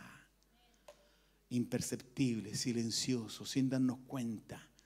Y la masa fermentó, fermentó, fermentó. Porque hubo levadura que fermentó la masa. Nosotros somos levadura que fermenta la sociedad. No andamos como los gallinas que cuando ponen un huevo lo cacarean todo. Nosotros estamos aquí haciendo cuestiones sociales, vengan a vernos, vengan a mirar. No, es un trabajo silencioso. Es el reino de Dios. Que leuda la sociedad. Tú y yo estamos leudando la sociedad para la gloria de Dios. No lo veo muy convencido. Y en la práctica, ¿cómo hacemos? Y esto es lo que dije. Y ratifico todo lo que dije. ¿Cómo vivimos en el presente mundo malo, pero con una mentalidad de reino de Dios? ¿Podemos disentir? Sí. Pero para edificar. Se acercó recién Jaime, ¿dónde está Jaimito? Porque yo dije, Señor, la sangre de Jesús cuando estábamos celebrando la cena, sangre, sangre que también habla de perdón y olvido, porque el discurso ha sido ni perdón ni olvido, ¿sí o no? Por años ha sido eso, para conectarnos con el resentimiento, con el ojo, con la ira, con la insatisfacción, para que nunca nos olvidemos, para que nadie alcance su propósito, ni perdón ni olvido. Entonces yo dije, perdón y olvido. Y Jaime se acercó y con justicia, sí, con justicia. Podemos disentir, claro, pero para edificarnos. Yo, mi historia es diferente a la historia de algún hermano que es compañero. ¿Me entiendes? Aunque yo todos le digo compañero. Una vez se acercó Iván Moreira y dije, hola compañero. Oh, me diga eso, me dijo. O sea, a todos le digo compañero, le dije. Pero es cierto, mi, mi historia es distinta. Mi familia fue, vivió otro, otro, otro escenario, lo vivió para el año 73. Y otros vivieron otro escenario crudo, terrible, terrible. Y ambos nos convertimos al Señor. Y somos hermanos y podemos disentir. Podemos no estar de acuerdo con lo que, lo que pasa en la sociedad. Podemos pensar que hay otra solución. Puede pensar, era una mejor solución que la que tengo yo. Pero por sobre todo nos edificamos en nuestra relación. Podemos plantear el problema, pero, no, pero mostrando el reino de Dios como solución. Lo que ocurrió ese día ahí, frente a esas personas, fue mostrar el reino de Dios hablando sobre la compasión social, la responsabilidad social de la iglesia individual. Podemos levantar la voz, pero sin denostar ni insultar a nadie. Sí, podemos levantar la voz, pero sin denostar ni insultar a nadie. Podemos criticar, pero para construir. Podemos marchar, pero con la camiseta de Jesús. Amén o no.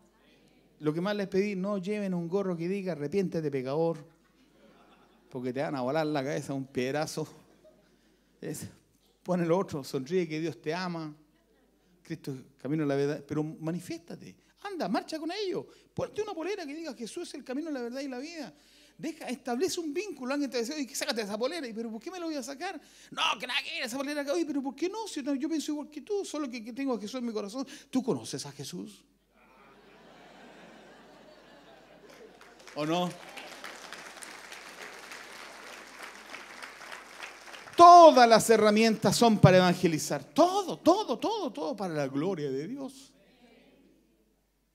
Entonces, podemos marchar, pero con la camiseta de Jesús. Podemos protestar, pero con principios y valores cristianos, enseñando lo que entendemos que Dios nos ha dado. Vivir el reino de Dios y decir soy gente de reino involucra mucho más que sentirme un hijo de Dios. Significa ir mucho más allá en mi llamado, en el encargo de Dios para mi vida, para transformarme en sal y en luz para la vida de muchos. Vivir el reino de Dios en el presente mundo malo significa vivir en la cruz y ser parte de esta sociedad con el mensaje de la cruz. Amén. Vivir el reino de Dios hoy en Chile significa comenzar a orar, a ayunar e influenciar para que gente de reino comience a gobernar nuestra nación. La pregunta es cómo logramos contextualizar el reino de Dios en nuestro día a día. Y esto es lo que quiero compartir hoy día. El punto número 5. Estableciendo el marco regulador de la manifestación del reino de Dios en la tierra. Y lo primero que quiero decir, ah, tenemos una autoridad soberana. El reino de Dios tiene una autoridad soberana. La manifestación del reino tiene un rey, el rey del reino. Jesús es el rey del reino. Jesús es el Kyrios. Él es, él es nuestra máxima autoridad. La palabra dice que, que toda rodilla se doblará en los cielos, en la tierra y debajo de la tierra. Y toda lengua confesará que Jesús es el Señor para la gloria de Dios Padre. El rey del reino es Jesús. Y aquí hace tu propio autoanálisis. Porque en este reino hay un rey. Y ese rey se llama Jesús, el Señor. El Señor de señores, el Rey de reyes, el que es, el que era y el que ha de venir. Amén o no amén. Y ese rey es tu rey. Por eso cantamos diciendo, sea entronado en la adoración. Porque estamos entronando al rey. Porque le estamos diciendo, Señor, tú eres el rey de mi vida, tú gobiernas mi vida, tú eres la persona más importante de mi ser, yo te amo con todo mi corazón y te reconozco como mi rey. El único problema en Chile es que nunca hemos tenido reinado, entonces nos cuesta entender el concepto del reinado, pero vamos a Inglaterra u a otros países en Europa que sí tienen reyes. Pero al menos en esta retórica, que al menos el rey del reino sea para ti la persona que manda, el amo de tu vida, la persona que, que gobierna, la que dice sí, sí o la que dice no, porque es el rey. Y lo primero en este reino es que hay un rey, una autoridad soberana, Jesús. Y toda lengua confiese que Jesucristo es el Señor. Segundo, tenemos el dominio sobre un territorio. Estoy hablando del reino de Dios aquí, contextualizado aquí en la tierra. Estoy bajando la señal. Un territorio. ¿Cuál es el territorio del reino? La tierra es el territorio del reino. La tierra, esta tierra. Esa. Es la tierra. Nuestra tierra. ¿Por qué Dios nos ha dado todos estos pedazos de terreno? Porque lo primero que hicimos cuando nosotros comenzamos la viña fue pensar en comprar un terreno. ¿Por qué? Porque es tierra, es pertenencia, son raíces. Eh, eh, acá tengo mi gente, es mi patria. La patria significa la tierra de mis padres. Es mi patria, es mi tierra, es mi gente. Yo tengo que estar conectado con la tierra. Dios me sembró en Chile, no en China. Me sembró aquí, no en Estados Unidos. Me sembró acá en Chile, no en Suiza. No me sembró en el año 1600, me sembró en 1960. El 2 de mayo fue glorioso en los cielos. Gabriel y Miguel se abrazaban y se peleaban. ¿Cuál de los dos le iba a poner segundo nombre a Jairo? Adivinen quién ganó. Miguel, porque yo me llamo Jairo Miguel. Claro, es, es tierra, soy, pertenezco a esta tierra. Amén o no amén. El reino de Dios está aquí en medio nuestro. Esta es la manifestación del reino, mi tierra, mi gente. Tenemos un dominio sobre un territorio, la tierra. Una palabra, el territorio, sus recursos y las personas son de propiedad del rey. Por eso dice la palabra que la tierra gime y está con dolores de parto. Por eso dice la palabra que la tierra gime y está con dolores de parto, esperando a la manifestación de los hijos de Dios para que la liberen de la corrupción en la cual se encuentra sumida y la lleven y la trasladen a la libertad gloriosa de los hijos de Dios porque la tierra gime. Amén. No piense que el, reino está en los cielos. Sí, olvídese esa canción, me voy con él, me voy con él, yo no me quedo, me voy con él. Olvídese, eso no va a pasar. Esta es la tierra, este es el lugar que Dios nos dio. Amén. Decimos también que tenemos una constitución, claro. Tenemos un- una constitución, la Biblia. La Biblia es nuestra constitución. Es el compromiso real del reino con nosotros, los súbditos. El compromiso de Dios con nosotros está dado aquí. Esta es mi constitución. Por eso que agarraron para el dedo al pastor Soto la última vez cuando él dijo que tenía su constitución, que no respetaba la chilena. Bueno, en alguna medida tiene razón, porque nos sujetamos a este libro. Y si modifican la constitución, es difícil que nos sujetemos a la nueva constitución. La Biblia pensamiento y voluntad del rey. Es el compromiso del rey con sus ciudadanos y expresa el pensamiento y voluntad del rey. Contiene los beneficios y privilegios del reino. ¿Qué dice la palabra? 2 Timoteo 3, 16 y 17. Toda escritura es inspirada por Dios y útil para enseñar, para arrepender, para corregir y para instruir en justicia, a fin de que el siervo de Dios esté enteramente capacitado para toda buena obra. Es mi constitución. Esto es la constitución del reino. ¿Aló? ¿Está aquí conmigo o no está conmigo? Mis queridos, esta es la realidad del reino. Decimos también, tiene un marco valórico este reino. Un marco valórico, principios aceptables de vida. ¿Cuáles son esos principios aceptables de vida? La vida de Jesús. Esos son nuestros principios aceptables de vida. Si Él vivió, nosotros también. Si Él lo hizo, nosotros también. Si Él no lo hizo, yo tampoco lo hago. Amén. Tiene un marco valórico. La ley constituye los modelos y principios establecidos por el rey, por lo cual el reino ha de funcionar y ser administrado. Estas leyes deben ser obedecidas. La vida del rey como modelo a seguir. El no cumplimiento de estas, de estas leyes coloca al individuo en una posición dudosa respecto del rey y de ese modo interrumpe la posición favorable que tenía el individuo frente al rey. Cuando no cumplimos las normas y conductas valóricas que Jesús nos entregó, nos ponemos en una condición que es dudosa, donde no, podemos recibir todos los beneficios que el rey dice que nos va a dar si nos sujetamos perfectamente a lo que él dice. Amén, ¿o ¿no? Tiene una ciudadanía, una comunidad de súbditos. Claro, este reino tiene una ciudadanía. ¿Cuál es la ciudadanía del reino de los cielos aquí en la tierra? La iglesia. Acá, acá está el reino de Dios. Esta es una embajada del reino de los cielos aquí en la tierra. Esta es una expresión del reino. Aquí ocurren los milagros, no ocurren afuera, aunque pueden haber afuera también cuando tú te atreves a orar por un enfermo. Pero es aquí en medio nuestro, es aquí donde Dios sana nuestro corazón, donde Dios nos restaura. De estas puertas para adentro, aquí somos equipados para ir de las puertas para afuera. Nosotros hemos llegado a pensar de que todo de aquí para adentro, de aquí para afuera no me conoce nadie. Pero es aquí, esta es la ciudadanía del reino, esta es la manifestación del reino. Aquí Dios viene, aquí Dios nos habla, aquí Dios nos toca, levantamos nuestras manos, adoramos a Dios, Dios viene, somos conmovidos por Dios, nos ponemos de pie, una lágrima corre por nuestras mejillas, porque emocionalmente respondemos a la presencia del rey en medio nuestro. Esta es la ciudadanía. La iglesia es la ciudadanía del reino. No es un derecho, sino un privilegio. Y es el resultado de la elección soberana del rey. Esto obliga al rey a cuidar y proteger a todos sus ciudadanos. Ni aun las puertas del infierno y de la muerte van a prevalecer contra la iglesia, a menos no ven. Por mucha amenaza y por mucha bulla y por mucha protesta que haya en Chile, nada de eso va a prevalecer en contra de la iglesia.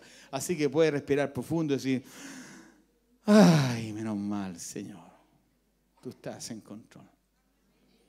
La palabra dice, y cada día el Señor añadía a la iglesia los que habían de ser salvos, somos los ciudadanos del reino. Último de ese párrafo, perdón, me adelanté. F, tenemos privilegios, derechos, derechos y beneficios en la vida en la iglesia.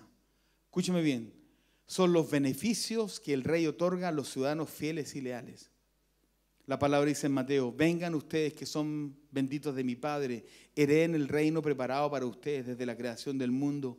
Pues tuve hambre y me diste alimento, tuve sed y me diste de beber, fui extranjero y me invitaron a su hogar, estuve desnudo y me dieron ropa, estuve enfermo y me cuidaron, estuve en prisión y me visitaron. Es la vida en la iglesia. Fieles y leales, tiene privilegios hay un compromiso del rey con sus súbditos, con sus hijos. Son los beneficios que el rey otorga a sus ciudadanos que son fieles y leales. Otros aspectos del reino. G. Tenemos un código de ética, estilo de vida y conducta aceptable. La cruz.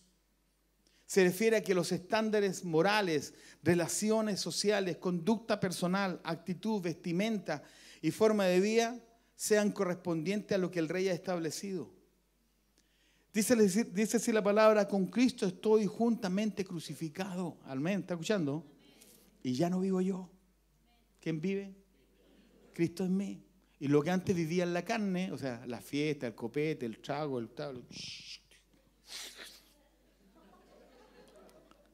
Lo que antes vivía en la carne, ahora lo vivo en la fe del Hijo de Dios. Es una conducta es un código de ética, es un estilo de vida, es una conducta aceptable. ¿Aló?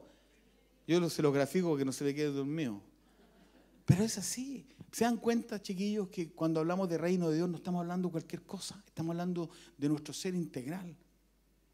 H, tenemos un sistema educativo.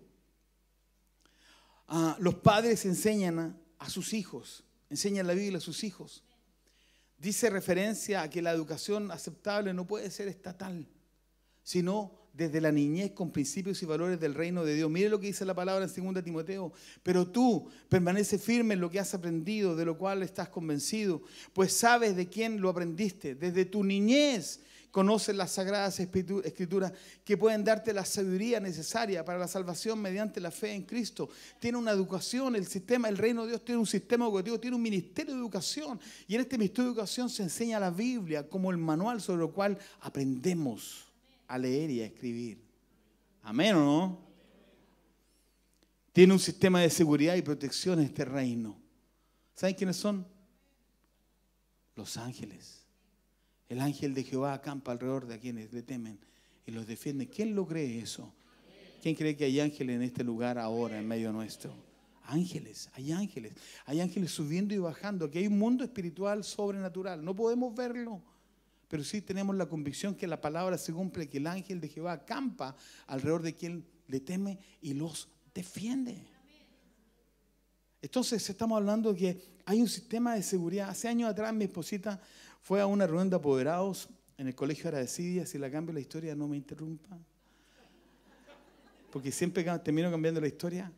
Y, y resulta que ella cruzó la calle y venían dos borrachos. Y vieron que ella venía caminando sola. No, mejor no te voy a mirar. Venía caminando sola. Y de repente los tipos dijeron entre ellos, vamos, no sé lo que han dicho, pero algo dijeron, ya. La cosa es que se detuvieron a mitad de camino y uno le dijo al otro, no, no vámonos, mira quién está, quién está detrás, mira que son grandes. que-". Y yo creo que Dios permitió que ellos vieran el ángel de Jehová sobre la vida de mi esposa. Ella escuchó cuando ellos dijeron, mira qué tamaño es que es grande. Ustedes no se dan cuenta, pero hay un ángel que está contigo todo el día. Por donde tú vas, Dios te guarda, Dios te defiende, Dios te cuida y envía a su gente. ¿Cuál es su gente? Son los ángeles. Así que este reino tiene un sistema de seguridad y de protección. Se refiere a la protección que el rey provee a sus súbditos. En este sistema de seguridad los ciudadanos no intervienen porque es responsabilidad del rey proveer la seguridad ah, que ellos necesitan. La palabra en Salmo dice, porque Él ordenará que sus ángeles te cuiden en todos tus caminos, con tus propias manos, con sus propias manos te levantarán para que no tropieces con piedra alguna. Amén o no? Interesante.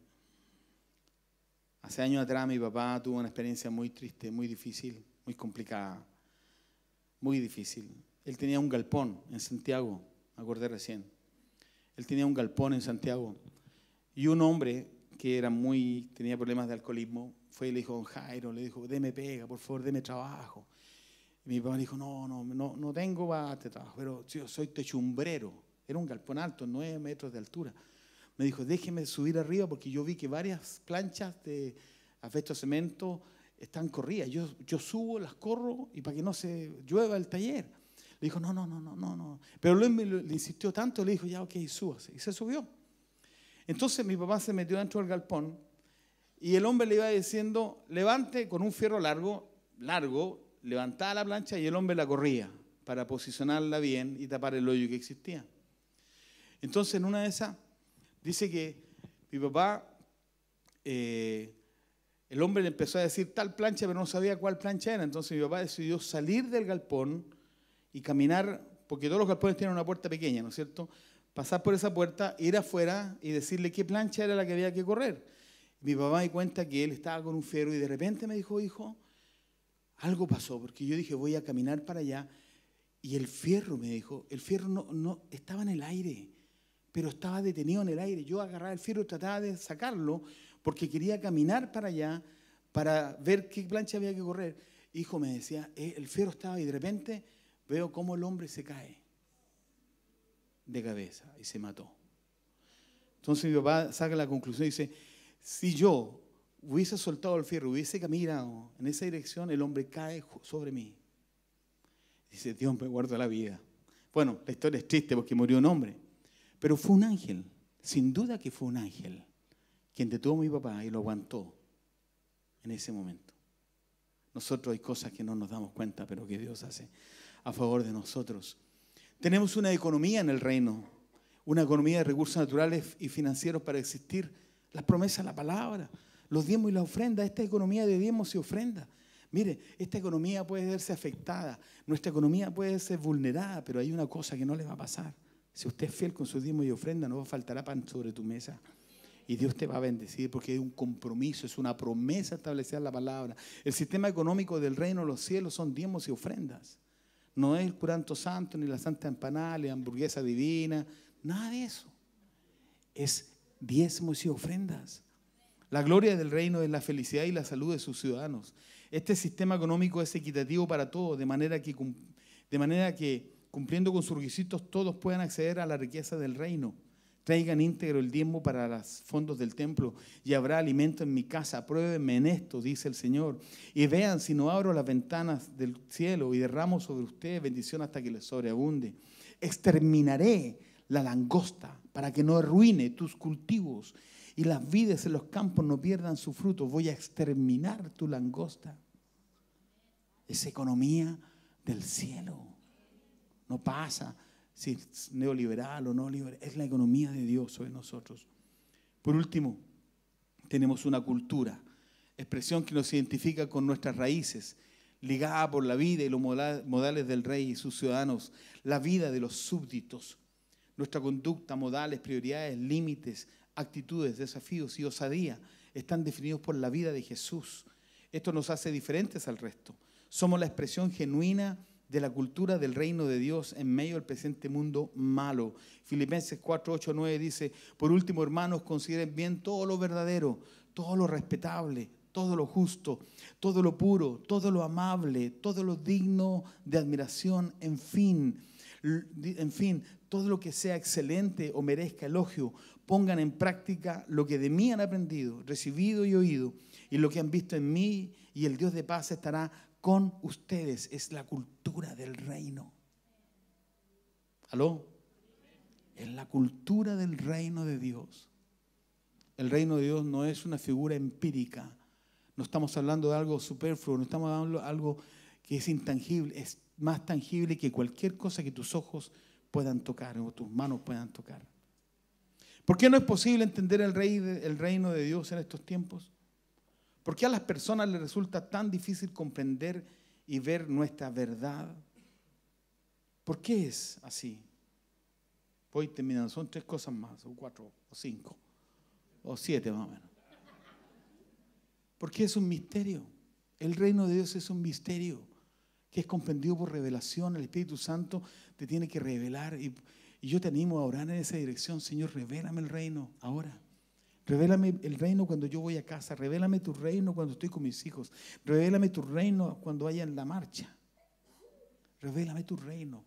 Muéstrame tu reino. Dime dónde estoy. ¿Qué está pasando?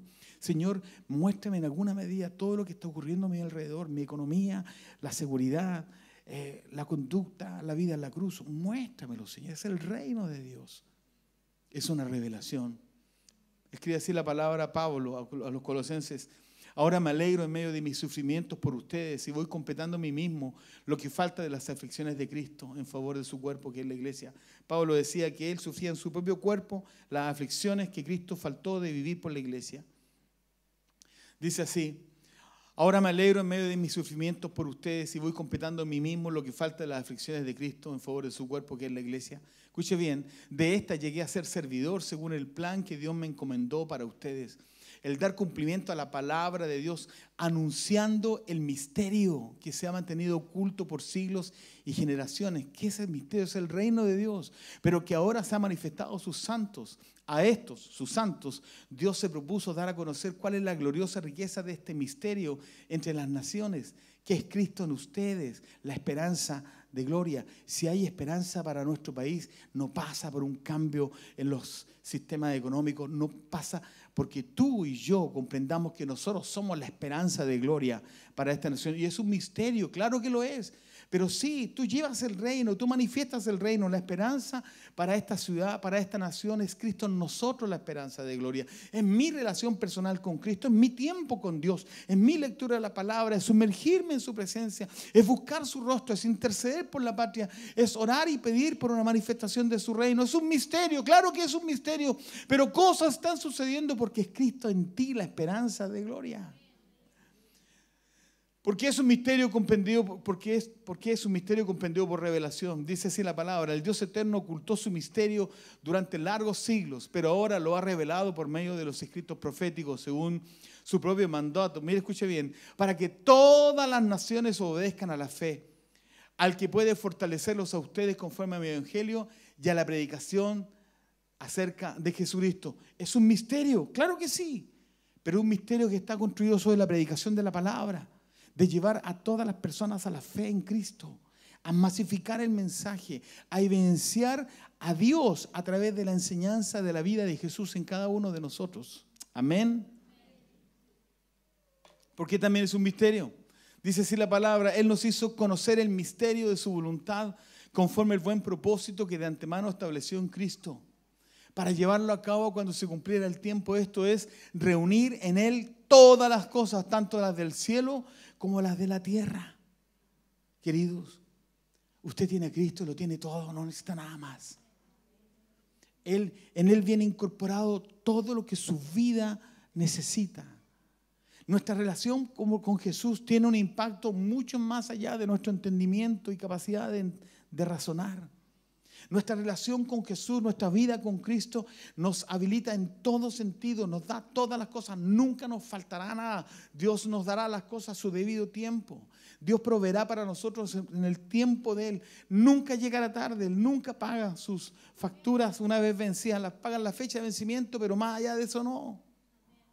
Pero eso está en este misterio. El reino de Dios está en mí, conmigo y a través de mí. Dios hace su obra a través de nosotros. Dios manifiesta su gloria a todas las personas a través de nuestra intervención. Ese día, cuando estaba con, con la gente en el diario El Yanquihue, yo me pregunté, decía, Señor, tú me tienes en este lugar, ni yo lo creo. Tenía una oportunidad de oro para poder compartir de lo que yo entendía del Señor.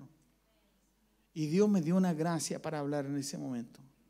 Y me invitaron a ser columnista del diario Yanquihue. Yo ya aparecía, si alguien la vio por ahí. Influenciar, leudar, afectar, bendecir, extender su reino, manifestar su reino. Amén. ¿Por qué es tan difícil entender el reino? Porque es un reino cuyo rey no parece rey. Le quitaron la ropa y le pusieron un manto de color escarlata. Luego trenzaron una corona de espinas y se la colocaron en la cabeza. Y en la mano derecha le pusieron una caña. Arrodillándose delante de él se burlaban diciendo, salve rey de los judíos. Se esperaba un rey con majestad, pero vino alguien diferente. Se esperaba un líder elegido democráticamente, pero vino alguien de una manera sobrenatural. Tendría un reino irresistible que ahuyentaría la maldad, pero él hablaba del amor. ¿Me entienden? Nosotros manifestamos ese rey. Por eso es que es tan complicado hablar del reino. Primero porque Chile no es un país de reinos. Segundo, porque la figura de rey para nosotros es una figura difícil de imaginar. Y mayormente este rey, que no está en un palacio. Que, nace en un pesebre, en un lugar pequeño, en medio de varios animales. Que, está en una condición económica totalmente contraria a la que uno imaginaría que un rey podría nacer. ¿Por qué el mensaje del reino es tan difícil comprender? Porque ya la figura de Jesús lo hace mostrar como algo diferente, absolutamente diferente a lo que uno podría pensar de un reino. Y lo último, ¿por qué su trascendencia es imposible de comparar con un reino contemporáneo? ¿Por qué es difícil entender el reino? Porque su trascendencia es imposible de comparar con un reino contemporáneo. Juan estaba en la cárcel y al enterarse de lo que Cristo estaba haciendo, envió a sus discípulos a preguntarle, ¿eres tú el que había de venir o debemos esperar a otro? Le respondió Jesús, vayan y cuéntenle a Juan lo que están viendo y oyendo. Los ciegos ven, los cojos andan, los que tienen lepra son sanados, los sordos oyen, los muertos resucitan y a los pobres se les anuncian las buenas nuevas. Dichoso el que no tropieza por causa mía. Es un reino diferente. Termino con esto.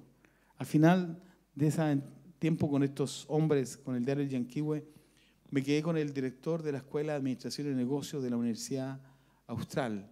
Se llama Pedro, no recuerdo, es sociólogo, tipo brillante, doctor, ha estado en varios países. Y justo cuando me estaba retirando la Ceremi de Gobierno, estaba hablando con él y me fue a despedir de la Ceremi, la Ingrid Chetino. Me fue a despedir de ella y habíamos estado hablando con Pedro por un momento que íbamos de juntarnos para conversar porque me interesa escucharlo. Y, y yo le dije, mira, ¿te puedo decir algo? Claro, me dijo él. Ingrid, cuéntale tu milagro. Cuéntale tu milagro a Pedro. ¿Qué cosa dijo él? Un sociólogo, un tipo brillante. Cuéntale tu milagro. ¿Cuál es el milagro? Hace alrededor de dos meses atrás vino para acá la Seremi de Gobierno, venía cojeando, su, su rodilla estaba inflamadísima, no tenía ligamentos, se le habían cortado, no sé qué cosa, pero la cosa es que tenía como para un mes y medio de reposo y aquí en la Intendencia le dijeron que no podía tomarse ese tiempo porque la situación del país ameritaba que ella estuviera trabajando a tiempo completo. Entonces estábamos con Verónica y Verónica en la radio, porque ella vino un programa en la radio. Verónica dijo, creo, queremos por ti, para que Dios haga un milagro. Ya, dijo ella. Así que oramos por ella. Verónica le preguntó, ¿te duele? ¿Cuánto te duele? La típica. 10, 9, 8. 5, dijo ella. Fue democrática. Y la cosa es que yo me agaché, impusimos las manos y oramos por un milagro creativo. Que se le reconstituyeran todos los ligamentos de su rodilla. Señor, todos los ligamentos en el nombre de Jesús son reconstituidos ahora. No tenía, no tenía, no tenía ligamento. Empezó así. Uy, no me duele, dijo.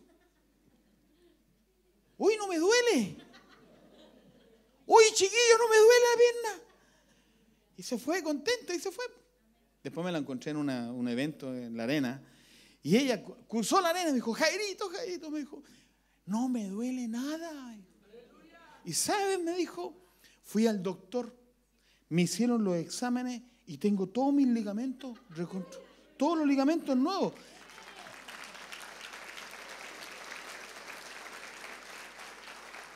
Y yo le dije al doctor, deme una buena explicación, porque en estos exámenes, con esta radiografía, no tengo ligamentos. Y con esta sí tengo ligamentos. Dímelo, dígame. Dijo el doctor, no tengo ninguna explicación para esto. Lo único que te pido, no digas que yo fui el médico que te diagnosticó eso. Porque yo le pedí a la Ingrid, cuéntale tu milagro. Porque era el reino de Dios viniendo sobre ella. Ella fue impactada por ese milagro de sanidad. Hasta el día de hoy, donde me ve, me dice, yo le digo, andé con falda, no muy arriba, le digo yo. Ah, pónganse de pie, chiquillos. Toda oportunidad que tú tienes para hablar de Jesús, para orar por alguien, para compartir tu vida, es la manifestación del reino. Usted y yo no podemos esperar que vengan una cantidad de ángeles con trompeta y nos toquen un tremendo cántico con trompeta en este lugar. Porque el reino de Dios está aquí en medio de nosotros. La Biblia dice que está al alcance de tu mano. A esa distancia, al alcance de tu mano, es la manifestación del reino. Y lo que tiene que ocurrir en Chile es que los hijos de Dios, los, los hijos del rey, se manifiesten. Y se manifiestan trayendo el reino, hablando la verdad, enseñando todo lo que yo les describí, que quizás fue a media latera la enseñanza, pero todo lo que les describí, que son el marco regulador del reino de Dios, es algo que tú y yo lo tenemos. Tú y yo lo tenemos. A veces necesitamos que alguien nos diga lo que tenemos para darnos cuenta que tenemos lo que tenemos que Dios dijo que teníamos. A veces es necesario que alguien nos dé una lata de una hora para entender de que la manifestación del reino está aquí en medio nuestro. Para la gloria de Dios, sin duda, sin duda, mis queridos, para la gloria de Dios digo esto, sin duda que los mejores tiempos de la historia de la iglesia cristiana en Chile son estos tiempos, en medio del descontento, en medio de la frustración, en medio de la, de la violencia, en medio de la insatisfacción. Porque es en ese momento cuando las personas comenzarán a mirar, a mirarnos y decir, ustedes tienen una palabra, ustedes tienen algo. Algo, algo pasó en tu vida, algo cambió tu vida. Tú no eres la misma persona. Y usted podrá decir, lo que pasa es que yo tuve un encuentro personal con Jesucristo. Lo que ella no sabe es que Dios te trasladó de las tinieblas al reino de la luz. Dios te trasladó de, de estar perdido a algo, a vivir encontrado con Dios. No podemos, por favor, queridos, en este lugar, no, usted no puede minimizar ni menospreciar lo que Dios le ha dado. No, usted no puede asumir que así es el cristianismo. No, así no es el cristianismo. El cristianismo es un cristianismo que le cree a Dios, que se manifiesta, que se expresa, que toma decisiones, que hace locura, que va adelante, que pone la otra mejilla, que, que no importa, entrega la camisa y también la capa, que va a dos millas si es necesario, que bendice aunque te maldigan. El reino de Dios es una expresión integral del corazón del Padre que late a favor de nosotros. Lo único que Dios anhela, Verónica ayer me hizo recordar algo hace años atrás, cuando nosotros recién teníamos de 680 metros cuadrados en este lugar.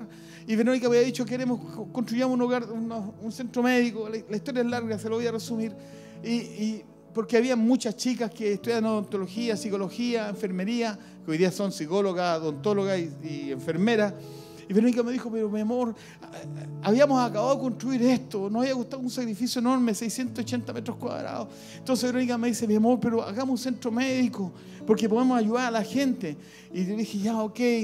Y, y dos semanas después hablé con dos personas, le dije lo que quería hacer y ellos dos semanas después volvieron con un proyecto gigante donde estos 680 metros cuadrados lo construían, lo transformaban en 1478 metros cuadrados. Entonces, De repente dije, no, están locos, le dije, esta no olvídense, se acabamos de terminar de construir y queréis que destruya todo para quedarme esa cuestión. Le dije, imposible. Y yo escuché a que Dios me dijo, ¿cómo dices es imposible? Cuando tú siempre dices que para mí todo es posible, que para mí nada es imposible, y le vienes a decir a ellos que es imposible, y yo como buen político, esos políticos que se dan vuelta en el aire, que un día son rojos y otro día son azul, me di vuelta en el aire y dije, no, no, paren, paren, paren, no, no, es posible, vamos a orar. Entonces, teniendo el computador abierto con todos esos planos de 1400 y tantos metros cuadrados, donde desarmábamos todo lo que habíamos construido, yo, yo dije, Señor, Señor, yo te quiero dar una oportunidad, le dije. Te quiero dar una oportunidad, Dios Todopoderoso, para que tú me demuestres que eres Dios.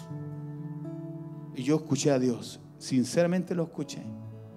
Y Dios me dijo, esto es lo que yo ando buscando que me den una oportunidad para demostrarles que yo soy Dios. No me, no, no, espere, no, aguántese. Miren, miren, no pasaron ni seis meses.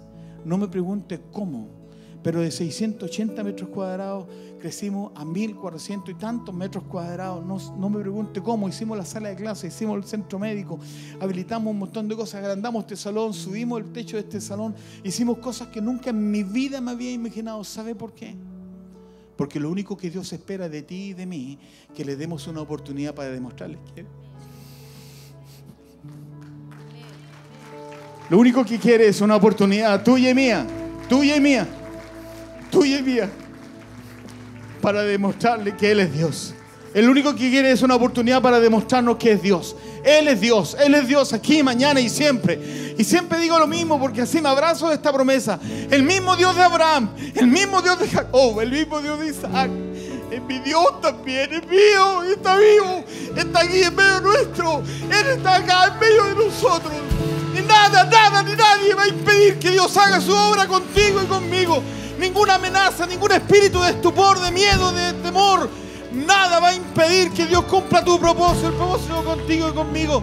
Si Dios te trajo este día acá para escuchar esta retórica larga, es para esto último quizás, para decirte que Dios espera de ti que le des una oportunidad para que Él te demuestre que tú eres Dios. Lo único que Dios anhela es que tú y yo demos un paso de fe. Me encanta el ejemplo que dice que cuando vas a un supermercado y las puertas se abren porque hay un sensor y de repente tú das el paso y la puerta se abre. Lo único que tú tienes que hacer para ver el reino de Dios manifestado es dar un paso de fe.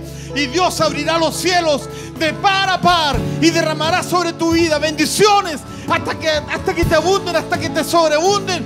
Y nunca, nunca, nunca serás cola, siempre serás la cabeza. Nunca estarás debajo, siempre estarás arriba. Y la bendición te perseguirá todos los días de tu vida. El bien y la misericordia estarán contigo todos los días de tu vida. Todos los días de tu vida, porque Dios en el que hemos creído es un Dios real. Es un Dios real que lo único que anhela es una oportunidad para demostrarnos que Él es Dios.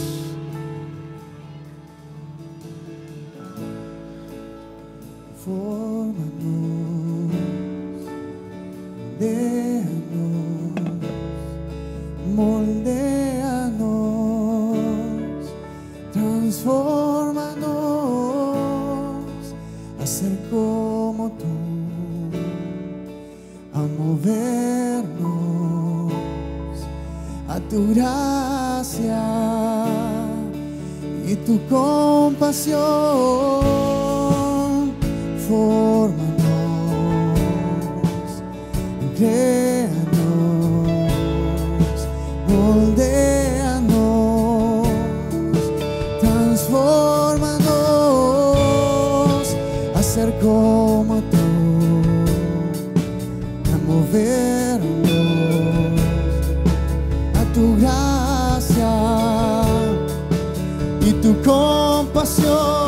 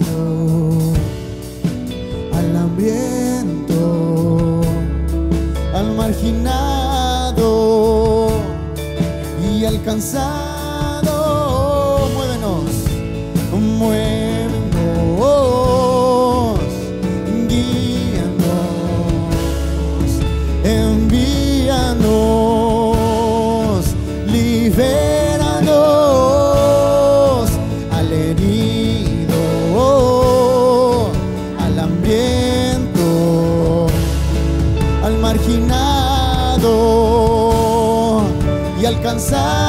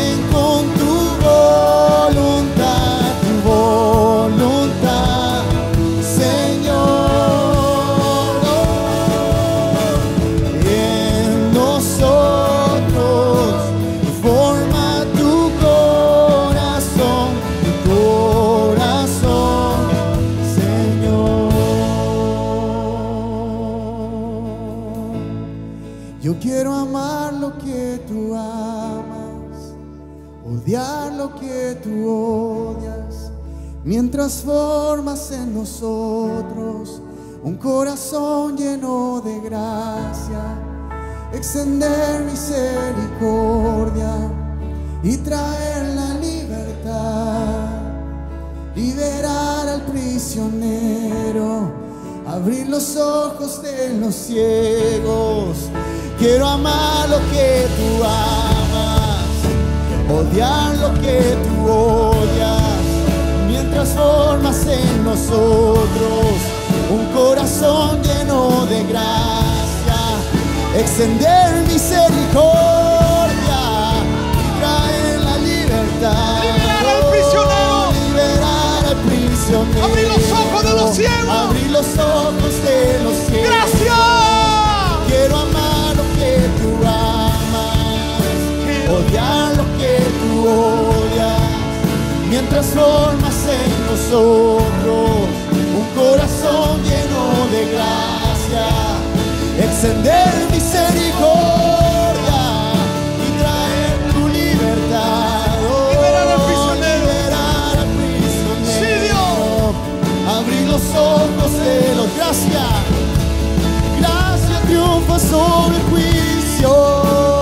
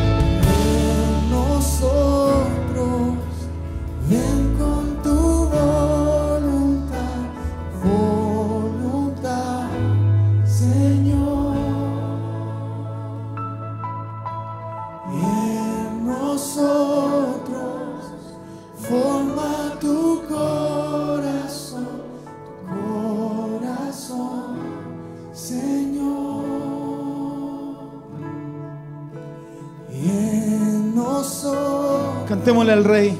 Ven con tu voz, Cantémosle al Rey de Reyes. voluntad, Como un cántico. Señor. Con todo tu corazón, con toda tu alma, con toda tu mente. En nosotros forma tu corazón, tu corazón, Quiero amar. Señor. Yo quiero amar tú mientras formas en nosotros Un corazón lleno de gracia. corazón lleno de gracia, Extender misericordia extender misericordia y traer la libertad. y traer la libertad. Liberar al prisionero. Liberar al prisionero. Abrir los ojos de los ciegos. Abrir los ojos de los ciegos. Quiero amar lo que tú amas. Odiar lo que tú odias. Mientras formas en nosotros un corazón lleno de gracia. Extender misericordia y traer la libertad. Vamos, iglesia. Liberar al prisionero. Abrir los ojos de los ciegos. Quiero amar. Quiero amar lo que tú amas.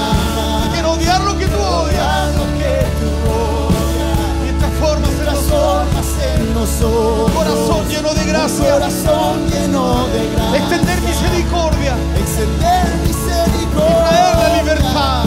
Y traer la libertad. Liberar al prisionero. Liberar al prisionero. Abrir los ojos de los ciegos. Abrir los ojos de los ciegos. Quiero amar lo que tú amas. Odiar lo que tú odias. Mientras formas en nosotros corazón lleno de gracia. Extender misericordia y traer tu libertad. Oh, liberar al prisionero. Abrir los ojos de los ciegos. Gracia, gracia triunfa sobre el juicio. Gracia triunfa sobre el juicio. Triunfa sobre el juicio.